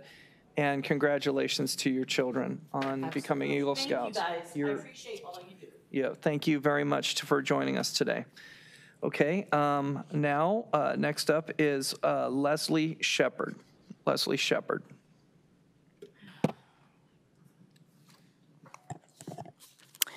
Well, I have two boys that serve in the Marines. I got one that's deployed right now. I got one that just got back, and my daughter-in-law just got back from being deployed. So I, I think it's important to mention, I got some skin in the game here. Um, I got family members that went away to war, and never came back because they fought for our country, because they believed in the Constitution. So when I, I'm here and I'm listening to people, some are more offensive than others. You're highly offensive, Steve. I agree what she said about the precincts, that it doesn't belong for your approval. But the thing that I find very offensive is that you continue to act like the fact that the majority of the people in America are lunatics because we know that our, our election system is being violated. The Constitution lets us know the election system is being violated, not our opinions, the Constitution. It says right here in Article 2, Section 2, it says the political power, purpose of government, all political power is inherent in the people. You know what happens? We come to these meetings and we act like we're supposed to cower to you. You took an oath. That means you made yourself govern, you told yourself you took a consent that you would be governed by we the people, not us be governed by you. That's something they've done wrong in these churches nowadays. This Romans 13, they tell people to come and submit to people who are not the governing authorities. We're the governing authorities. The Constitution wrote it that way. Our founding fathers, your founding fathers wrote it that way. Your violation of it is a disrespect to them. It says in Maxim Law 84A, there is no stronger ink or bond between men than an oath. You took an oath. I don't care what party you are, you took an oath. I'll end it with this.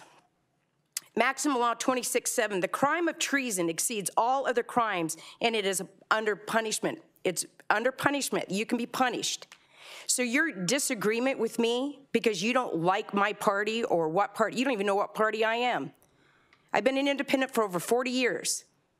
When you choose to violate the Constitution and I'm sorry, downplay you- us, you've you're past- disrespecting your you've- governing you've authorities. Gone past your two minutes. Have a good day. Thank you, and please thank your children for the service to our country. Um, Appreciate it. Uh, So next up, we will go to Barbara, it's either Roth or Roddy? Ratty. Ratty, okay. So sorry about that. Uh, Welcome, Miss Ratty. Appreciate you being here. Mr. Chairman and supervisors, we know that you are not abiding by the Arizona Constitution regarding our voting system. I'm serving you again today with the remonstrant affidavit, which I, ser- that I served on June 23rd also. No, I'm sorry, that was executed on June 23rd, and I served you once on July 26th. This document informs you of the violations our voting system is doing, ha- uh, is under right now. Once again, you have not made the needed changes regarding tabulator voting machines, which are unconstitutional according to the Arizona Constitution. These machines are made to help steal our election. How does this happen? Number one, tabulator voting machines remove secret voting. See Arizona Constitution, Article 7, Section 1, method of voting secrecy, page two on the affidavit. Two, breaks the chain of private ballot, affidavit, page two, current violations of the Constitution. Three, the machines are under contract with Corporation Dominion, which is unlawful. All contracts with corpor- corporations such as Runbeck, Pro, V&V, and others are unlawful. See affidavit, page three, under affiant states. I would like to state that AR ARS 16442B law regarding machine, eh, machines is a repugnant law to the Constitution and is null and void, so is it impossible for a law which violates the Constitution to be valid.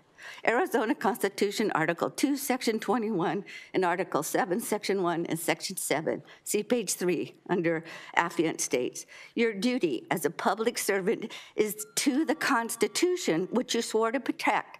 The purpose of government is to protect the liberty of people to which freedom has been compromised.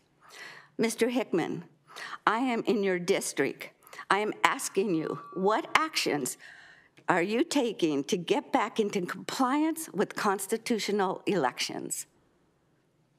Thank you for your two minutes. I, as, as You can't said, I cannot, I cannot answer uh, in the public comment period, but I appreciate you being here, so Okay, thank you. thank you. I did want to thank you all for supporting that child support thing that you did earlier today. Very welcome. Okay, next up, we have uh, Bonnie Epstein. Uh, Bonnie, welcome today. Thank you.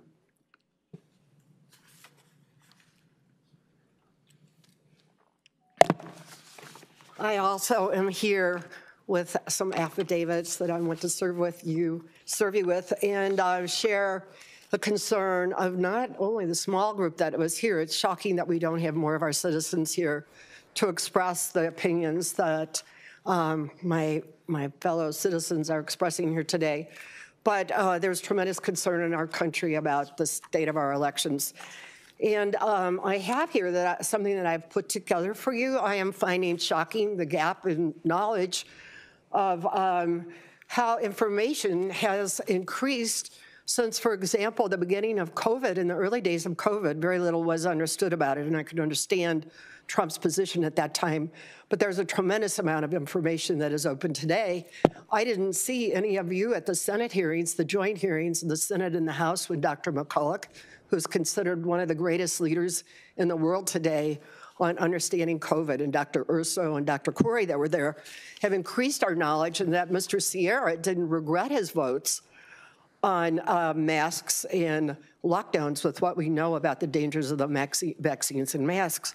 So on our elections, I just submitted to you um, a list put together of 11 events that I personally know of, 10 of which I was at, that presented under, many of them under oath, information by cybersecurity experts, um, reports and research that were done on what happened in our elections 20 and 22 in specific.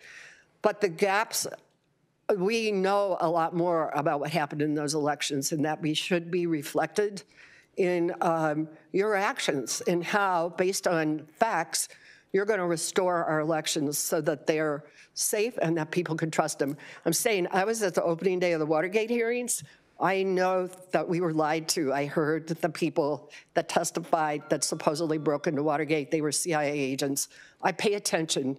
I come to you now because I am a person that stays well informed. You'll see on that list, I was at 10 of those 11 events.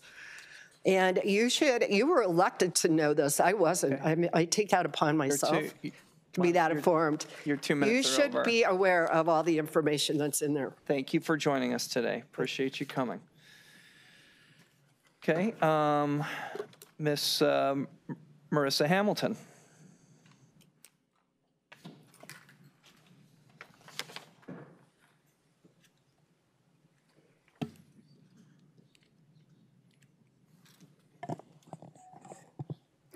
Good afternoon, Chairman and Supervisors. Um, I'll go through my list very quickly um, due to the limited time. Uh, One, it would be great if we could be allowed to have water in this room during the meeting. Um, I see you all have water in the room, but we're not allowed to. Um, We're not peasants. We give you consent to govern, so it'd be nice to be able to have water. Uh, Number two, um, uh, Mr. Gallardo, um, I don't understand why Lorenzo's health issues matter to you, but mine don't, and the gentleman that lost his wife doesn't. It's concerning to me. Why are you smiling? It's concerning to me that that you know it's terrible what Lorenzo went through, but it's also terrible what my mom went through. It's terrible what I went through. and It's terrible what this gentleman over here went through. Uh, it's really concerning that some lives matter to you, but not all. Um, and it's also concerning that you think that tyrannical government requirements uh, that destroy li- some lives is okay as long as it saves the ones that you think are a priority. Uh, number my number three here issue here is that the uh, EPM, the Election Procedures Manual, is changing dramatically. Um, I'm requesting to that you consider having uh, the public, uh, we the people, we're the chief stakeholders of our government, have an opportunity to participate in the election planning process this year. Uh, there's significant changes that are being made, and rather than just having really pissed off uh, constituents after every election and only being able to listen to the plan um, once it's presented to you, um, it would be nice if you would operate like some of the other government entities do, where we have where they have public meetings um, to go over the plan. The city of Phoenix has over a month of public input on changes like this. Uh, it would be nice if you did the same thing and you let us participate in a planning process prior to you approving it, so we know what's in it before you vote on it. Thank you very much. Okay, thank you for joining us today. Um, Jeff Caldwell.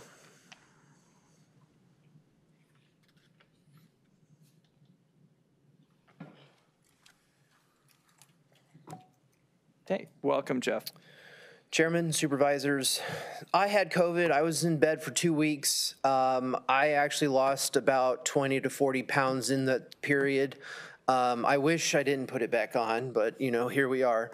Um, so, you know, I've dealt with it myself as well. My comments earlier are only um, policy driven, not personal interpretation of what's going on in people's inter- in-person life. So, when he came up and spoke, um, Mr. Sierra, regarding what his um, oath was to, he said it was to his constituents when it's actually to the Constitution.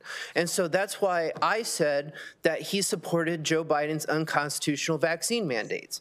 So that's why I said he was unqualified. So um, then Mr. Gallardo says that every person should have the ability to vote in every election when we know that when the machines went down on election day, then there was at le- I saw videos of people leaving the lines to go home, to come back, but there's no guarantee that these people are coming back.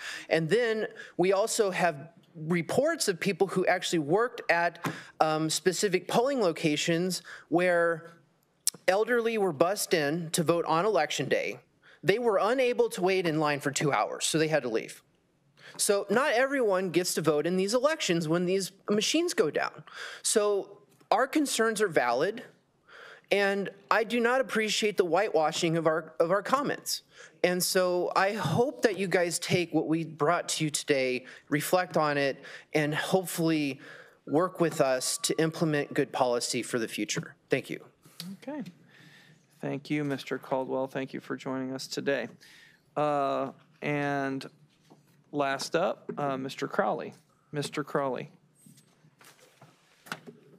Should have told them that there's a drinking fountain right in the hallway, so they're not stopping you from getting a drink. No, it's right on the other side of that door. You just go in at the top. Okay, stop, stop, stop. Thank you. Uh, I heard, I heard that loud and clear, access to water. That's not, that's not very hard for us to accomplish. It's a, it's a good point. It's aw- been awfully hot, so we'll need to make sure that we can point out from now on where the access to water is. Um, So thank you, Mr. Crowley. You have two minutes.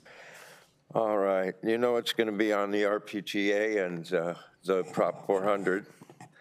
I would like to find out, Jack, what are all the codicils that were applied to it? Because I heard one of them that they're not going to allow bike lanes as a part of the funding and such. And being that I am the one that got the bike racks on the buses, it's something that is important to me, and I'd like to find out what's going on with that. But back to the RPTA. At the managers' meeting this last time, uh, I had to ask during the meeting if they had a quorum, and I know that the county wasn't there, but it was a shaky situation just the same. But what they were discussing were recommended service changes, none of which were applicable to what we had put forth in the document, you know. There's no extension to uh, the 303 on Bell. There's no, any of the west side stuff that was supposed to be done. There's no uh, Queen Creek in that. But what was also discussed was jurisdictional equity. And I said, okay, well, where are the uh, counties? You know, they say, because that's the rural routes part of it. And when I look at where it says the jurisdictional equ- equity, it's got West Valley's got 11.5%, Central 31.7%, East Valley 56. Maybe that's the reason those West Valley ones weren't dealt with. But then I asked, where does the counties go into that equation? And I was told West Valley and Central. Well, the Central's number of 31735 is exactly what Phoenix gets. So I need, uh, for that jurisdictional equity, to get back those rural routes, Wickenburg, get one out to Queen Creek, Tonopah, and for them to do it according to the document that we gave them. Thank you, And Blue. when it comes to service changes. do what Appreciate they it, need. Blue. Thank you very, very much. Okay. Um, Appreciate everybody joining us for the public comment period. Um, Now we'll mo- next move on to um, county manager and supervisors um, area of the agenda. So I will turn to our county manager, Ms. Pokorski. Welcome. Do you have anything for us today? Nothing today, Chairman. Thank you. Okay, great. Um, I will go to uh, Supervisor, well, first of all, Supervisor Galvin, are you still joining us? I still can't see you, but you're on the phone, I hope? I see you and I hear you loud and clear. Uh, Hi, hi, Tom. Uh, Would you like to address the board today and the citizens? Yes, Mr. Chairman, I just want to be brief and just um, comment on this weather that we've all been experiencing, especially since our last hearing. It is hot and this heat will continue probably for the foreseeable future. And I'd like to thank our hardworking county employees, especially those who work outside and those that spend any part of their day outside. And I just want to express to them my appreciation on behalf of the county and the residents and remind everyone to stay hydrated and stay safe. And I know, Mr. Chairman, you did a good job on a television news program a couple of weeks ago on this issue, so I want to commend you for that. Thank you, Tom. I, the, the, thank you for bringing that up because we have had to make a lot of quick decisions again and, and also uh, budget adjustments. Um, Sometimes it's for the great, sometimes our budget adjustment um, of renting coolers to put our family and citizens uh, in as they wait uh, their final uh, disposition of life is, is always an extremely troubling, uh, but it's, it's something that has to be done uh, when we're talking about ser- servicing our citizens from birth to death. And uh, I appreciate you pointing that out, and I felt, I thought the citizens of this uh, great county should know uh, the, the steps that we're having to uh, utilize um, during this unprecedented heat. So, um, but it is something that the county does and does, uh, performs well on. So thank you for that. Uh, Supervisor Gates. Thank you, Mr. Chair. I would uh, echo the comments of Supervisor Galvin and uh, just remind everyone, if you're outdoors at all, just be very careful, you know, recreation, try and do that first thing in the morning or uh, when it's, when it is uh, definitely the temperatures are lowest. And finally, I just want to thank everyone who joined us today uh, and exercised their rights under uh, the U.S. and Arizona constitutions of free speech to address the board today. Thank you very much, Mr. Chair. Uh, Thank you Supervisor Gates. I appreciate that, and thank you for your service. Uh, Supervisor Gallardo. Thank you, Mr. Chairman. Uh, Just a couple of comments, and I hate to just keep bringing it up, but I'm going to bring it up anyways because I'm going to be upset if I don't. Uh, First, uh, in regards to uh, Mr. Sierra, I want to thank him so much for once again stepping up and serving the public. He has done it his entire life, let it be on the municipalities, to, to the state legislature and school boards, just a member of the uh, Chamber of Commerce. He's just, he's just very active and involved, so I couldn't thank, thank him more. Clear the record, I never brought up his health condition. If you look at the tape, I never brought it up. I brought up his integrity, the man of, of just uh, a, a, a big heart that's willing to serve and step up. Uh, and I thank him so much for, for, for being a member of our Board of Health. I know he will contribute a wealth of knowledge and experience, and I wish him uh, all the best as he serves uh, the people of Maricopa County on the Board of Health. Um, Second, when it comes to the procedures manual on elections, we don't do it on the Maricopa County Board of Supervisor. It is done by all 15 county recorders and the state legislature. They get together and they create the procedures manual, not the Board of Supervisors. They do it. We don't create laws. We don't have the ability to create one law in this state. We're an arm of the state. We get our direction from the legislature. Legislature tells us what we need to do. We implement it. That's how that goes. Um, But nonetheless, uh, I do want to thank those that came forward to sharing their comments and thoughts. It doesn't fall on deaf ears. We take notes, and I appreciate their, their thoughts and opinion. Um, With that, Mr. Chairman, I want to go right into what I spoke to you about earlier, and that is our summer program. We ended the summer in District 5 with a bang. For the first time, uh, we had a summer program, and it was pretty easy. All I did is took what the city of Phoenix does in their Parks and Recreation, brought it out. We have a video that was made to kind of share or tell the story of our summer program. Uh, we had nearly 500 kids. We had to cut it off. We could have had more. We had nearly 500 kids sign up to be part of this summer program. It was both uh, a way for the kids to to, to keep them active during the summertime, during the week, and on weekends. It was a huge success. Shout out to Cartwright Elementary School District for being a great partner. Um, they have just been just just so easy to work with. I just love Cartwright.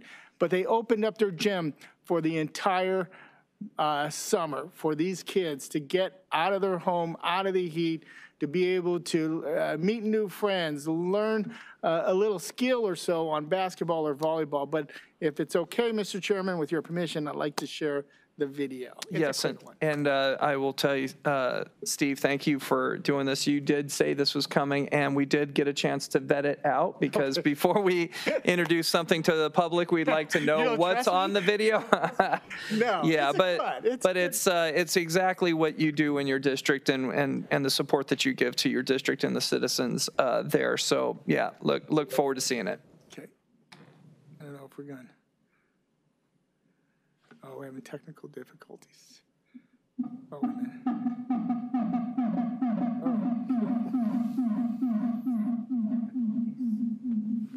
Do we need? to-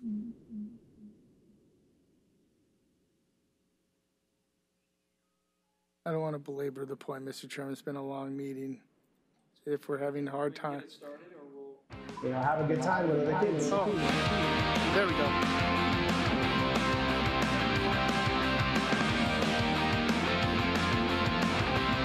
To be able to do something during the summer when it's really hot and very limited activities, particularly right here in Maryvale.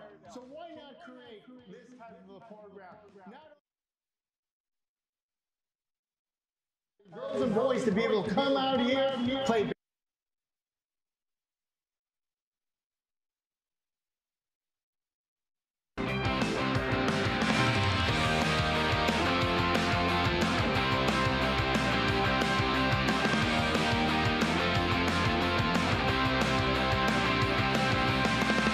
coaching here basketball and volleyball. I think it's a very wonderful program and a great opportunity for kids to interact with each other at the same time as um, getting to know other people, new cultures, new um, activities, and it's helpful for other kids to learn the sport that they haven't played before at the same time as interacting with new people. It's good that the community has a lot of these programs and offers these programs for the kids to have throughout the summer. The main thing I came to this program was because I like volleyball and it gave me a chance to play volleyball outside of school with people that I know and people I like, I like to meet new people and have fun. We want to continue to duplicate this event, not only during the summer, but throughout the year. We want to expand it to other portions of our city, South Phoenix, Central Phoenix, Laveen. These are areas where I have many of our kids that are wanting to participate, but just don't have the financial means. We want to tear down those barriers, give them an opportunity, keep them out of trouble, keep them doing something safe, and be able to exercise during the summer.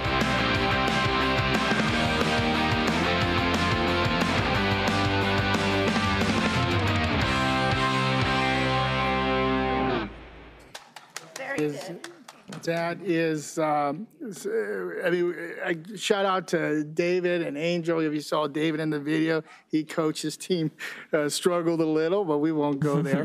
um, but nonetheless, it's just a combination. I'm, I'm I'm a strong believer. It takes a village. Everyone coming together. You had folks from the city, uh, of course, uh, the county. We, the school district played a huge role um, uh, parents volunteering, just being there, um, was just a huge success. I, I couldn't be more proud of everyone that participated.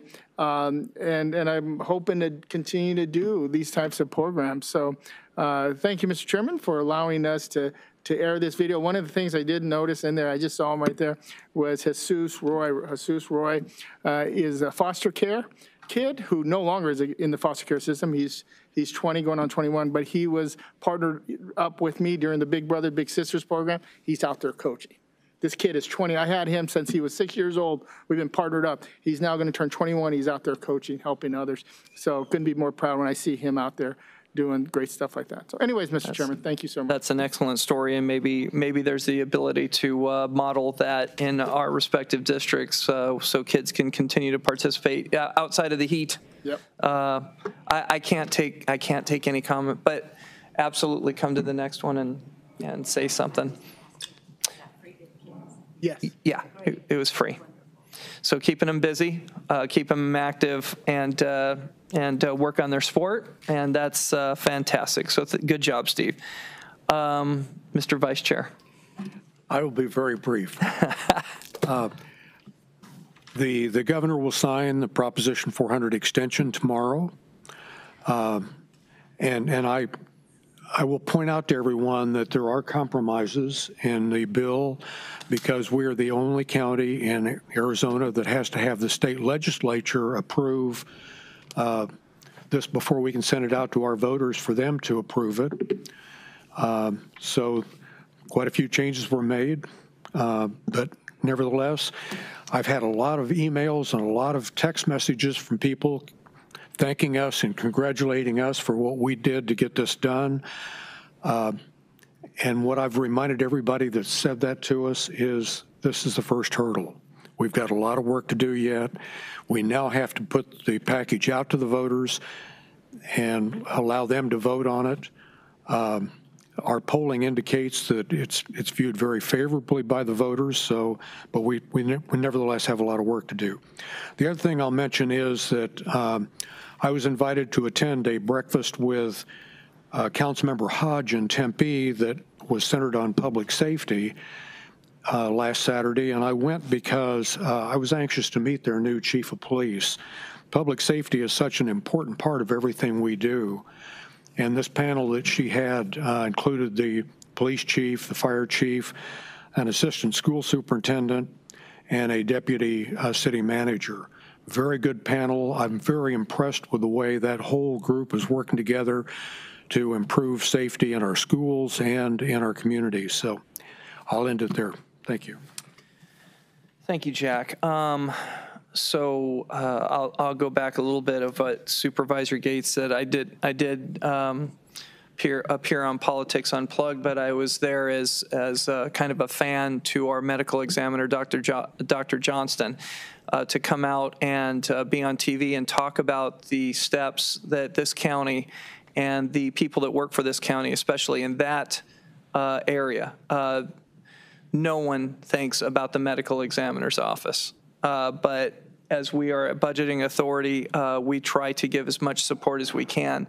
And uh, if that is definitely um, a tour or tours that I will never forget. And one of one of the tours I gave uh, was to Representative Debbie Lesko that came in to take a look and see our employees working on some really tough things. I mean, you you get to see uh, violent uh, people that uh, passed away from violence, uh, people that passed away uh, from COVID, people that passed away from cancer, people that passed away. I mean, everything under the sun, and it's an extremely unfortunate, but these are the citizens of our community, and there are citizens in our community uh, that are taking care of these uh, deceased people when it comes to indigent burial, when it comes to the people that are working in those labs for the autopsies, when it comes to the people that are putting dead bodies on gurneys and putting them in racks uh, and to see the amount of dignity displayed uh, by not only uh, the person that's getting paid $18 an hour, but also uh, from the very top of doc, with Dr. D- Johnston. I was very proud to be on TV with him and, and talking about these issues. Uh, media wants to carry the salacious view. Uh, why is it that you're buying uh, why is it that you guys have uh, coolers and freezers in your county parking lot that all of us get to drive by? Uh, and he got to put a human side to it. It's, it's not the coolers that we have for surge capacity, it's the people and the citizens, uh, the voting citizens or not, that are now unfortunately in those coolers. Uh, blue, it's, it, is, uh, it is a tough time, uh, but it's always tough. I'm a four fourth generation native to this state. And um, the Maricopa County um, uh, Medical Examiner's Office was not always set up in this fashion. And there are investigations going on to, to, to make sure that family members know, yes, this is, this is what happened, heat exposure, uh, fentanyl overdose, opioids that is killing some of our communities uh, that we have to be concerned with as a county. So uh, it's not always fun uh, to talk about it. It's not always fun uh, for me to have to consistently think over this three year period about one item, one item, one division, and trying to do the best that we can when there's so many other divisions that are given short shrift and no one even thinks about. So I appreciate you bringing uh, bringing that up uh, in the public. I also want to make sure that uh, I, I, don't. I don't know how to answer uh, people's vision and people's words when when uh, we use her terms uh, that come from the public called ca- you you're cowering above us and treasonous behavior and treating us like peasants treating us like peasants because we didn't point out where you can get water so we're going to do, we're going to take care of that. Okay. Uh, we want to make sure that everybody understands that they are treated as a citizen uh, of the public. And when they come to address us, we want to make it as comfortable as possible, even though I know you're paying out of sight parking rates uh, from one city over. Uh, to be able to be here and park here. And that's why I try to get these meetings over as quick as I can because most of us coming from Waddell are parking and walking in the heat um, so I try to do that. I will tell you, I've seen some people here that are addressing our, our board for the first time. Um, and I try to finish these, these meetings up as quick as I can for my colleagues because here's all of our, all of our people, all of our workers trying to get back to their jobs. And I appreciate it, but they do need to hear from the public. But I do uh, want to remind people now that you've had to come come here, talk about your, your thing. I will, if we are going to look at agenda items, please be prepared to talk to that specific agenda item. Uh, public comment period is used to talk about anything you want our uh, board to know, but public or but when you're talking about an agenda item, you have to stick to the agenda item and not go off into any tangent that you feel you can make uh, as part of that agenda item. We know what's what's happening, especially as a chairman sometimes, uh, when you're talking about something else that has nothing to do uh, with the agenda item at hand. So I'm going to go, you know, as as we go a little further, I'm going to make sure that that we stick a little bit closer to that uh, for my colleagues' sake, for the people that work here, but also for the public that wants to come up and address us uh, during the public comment period. Um, so we hear you. Uh, we we we hear you when you come up. Um, so.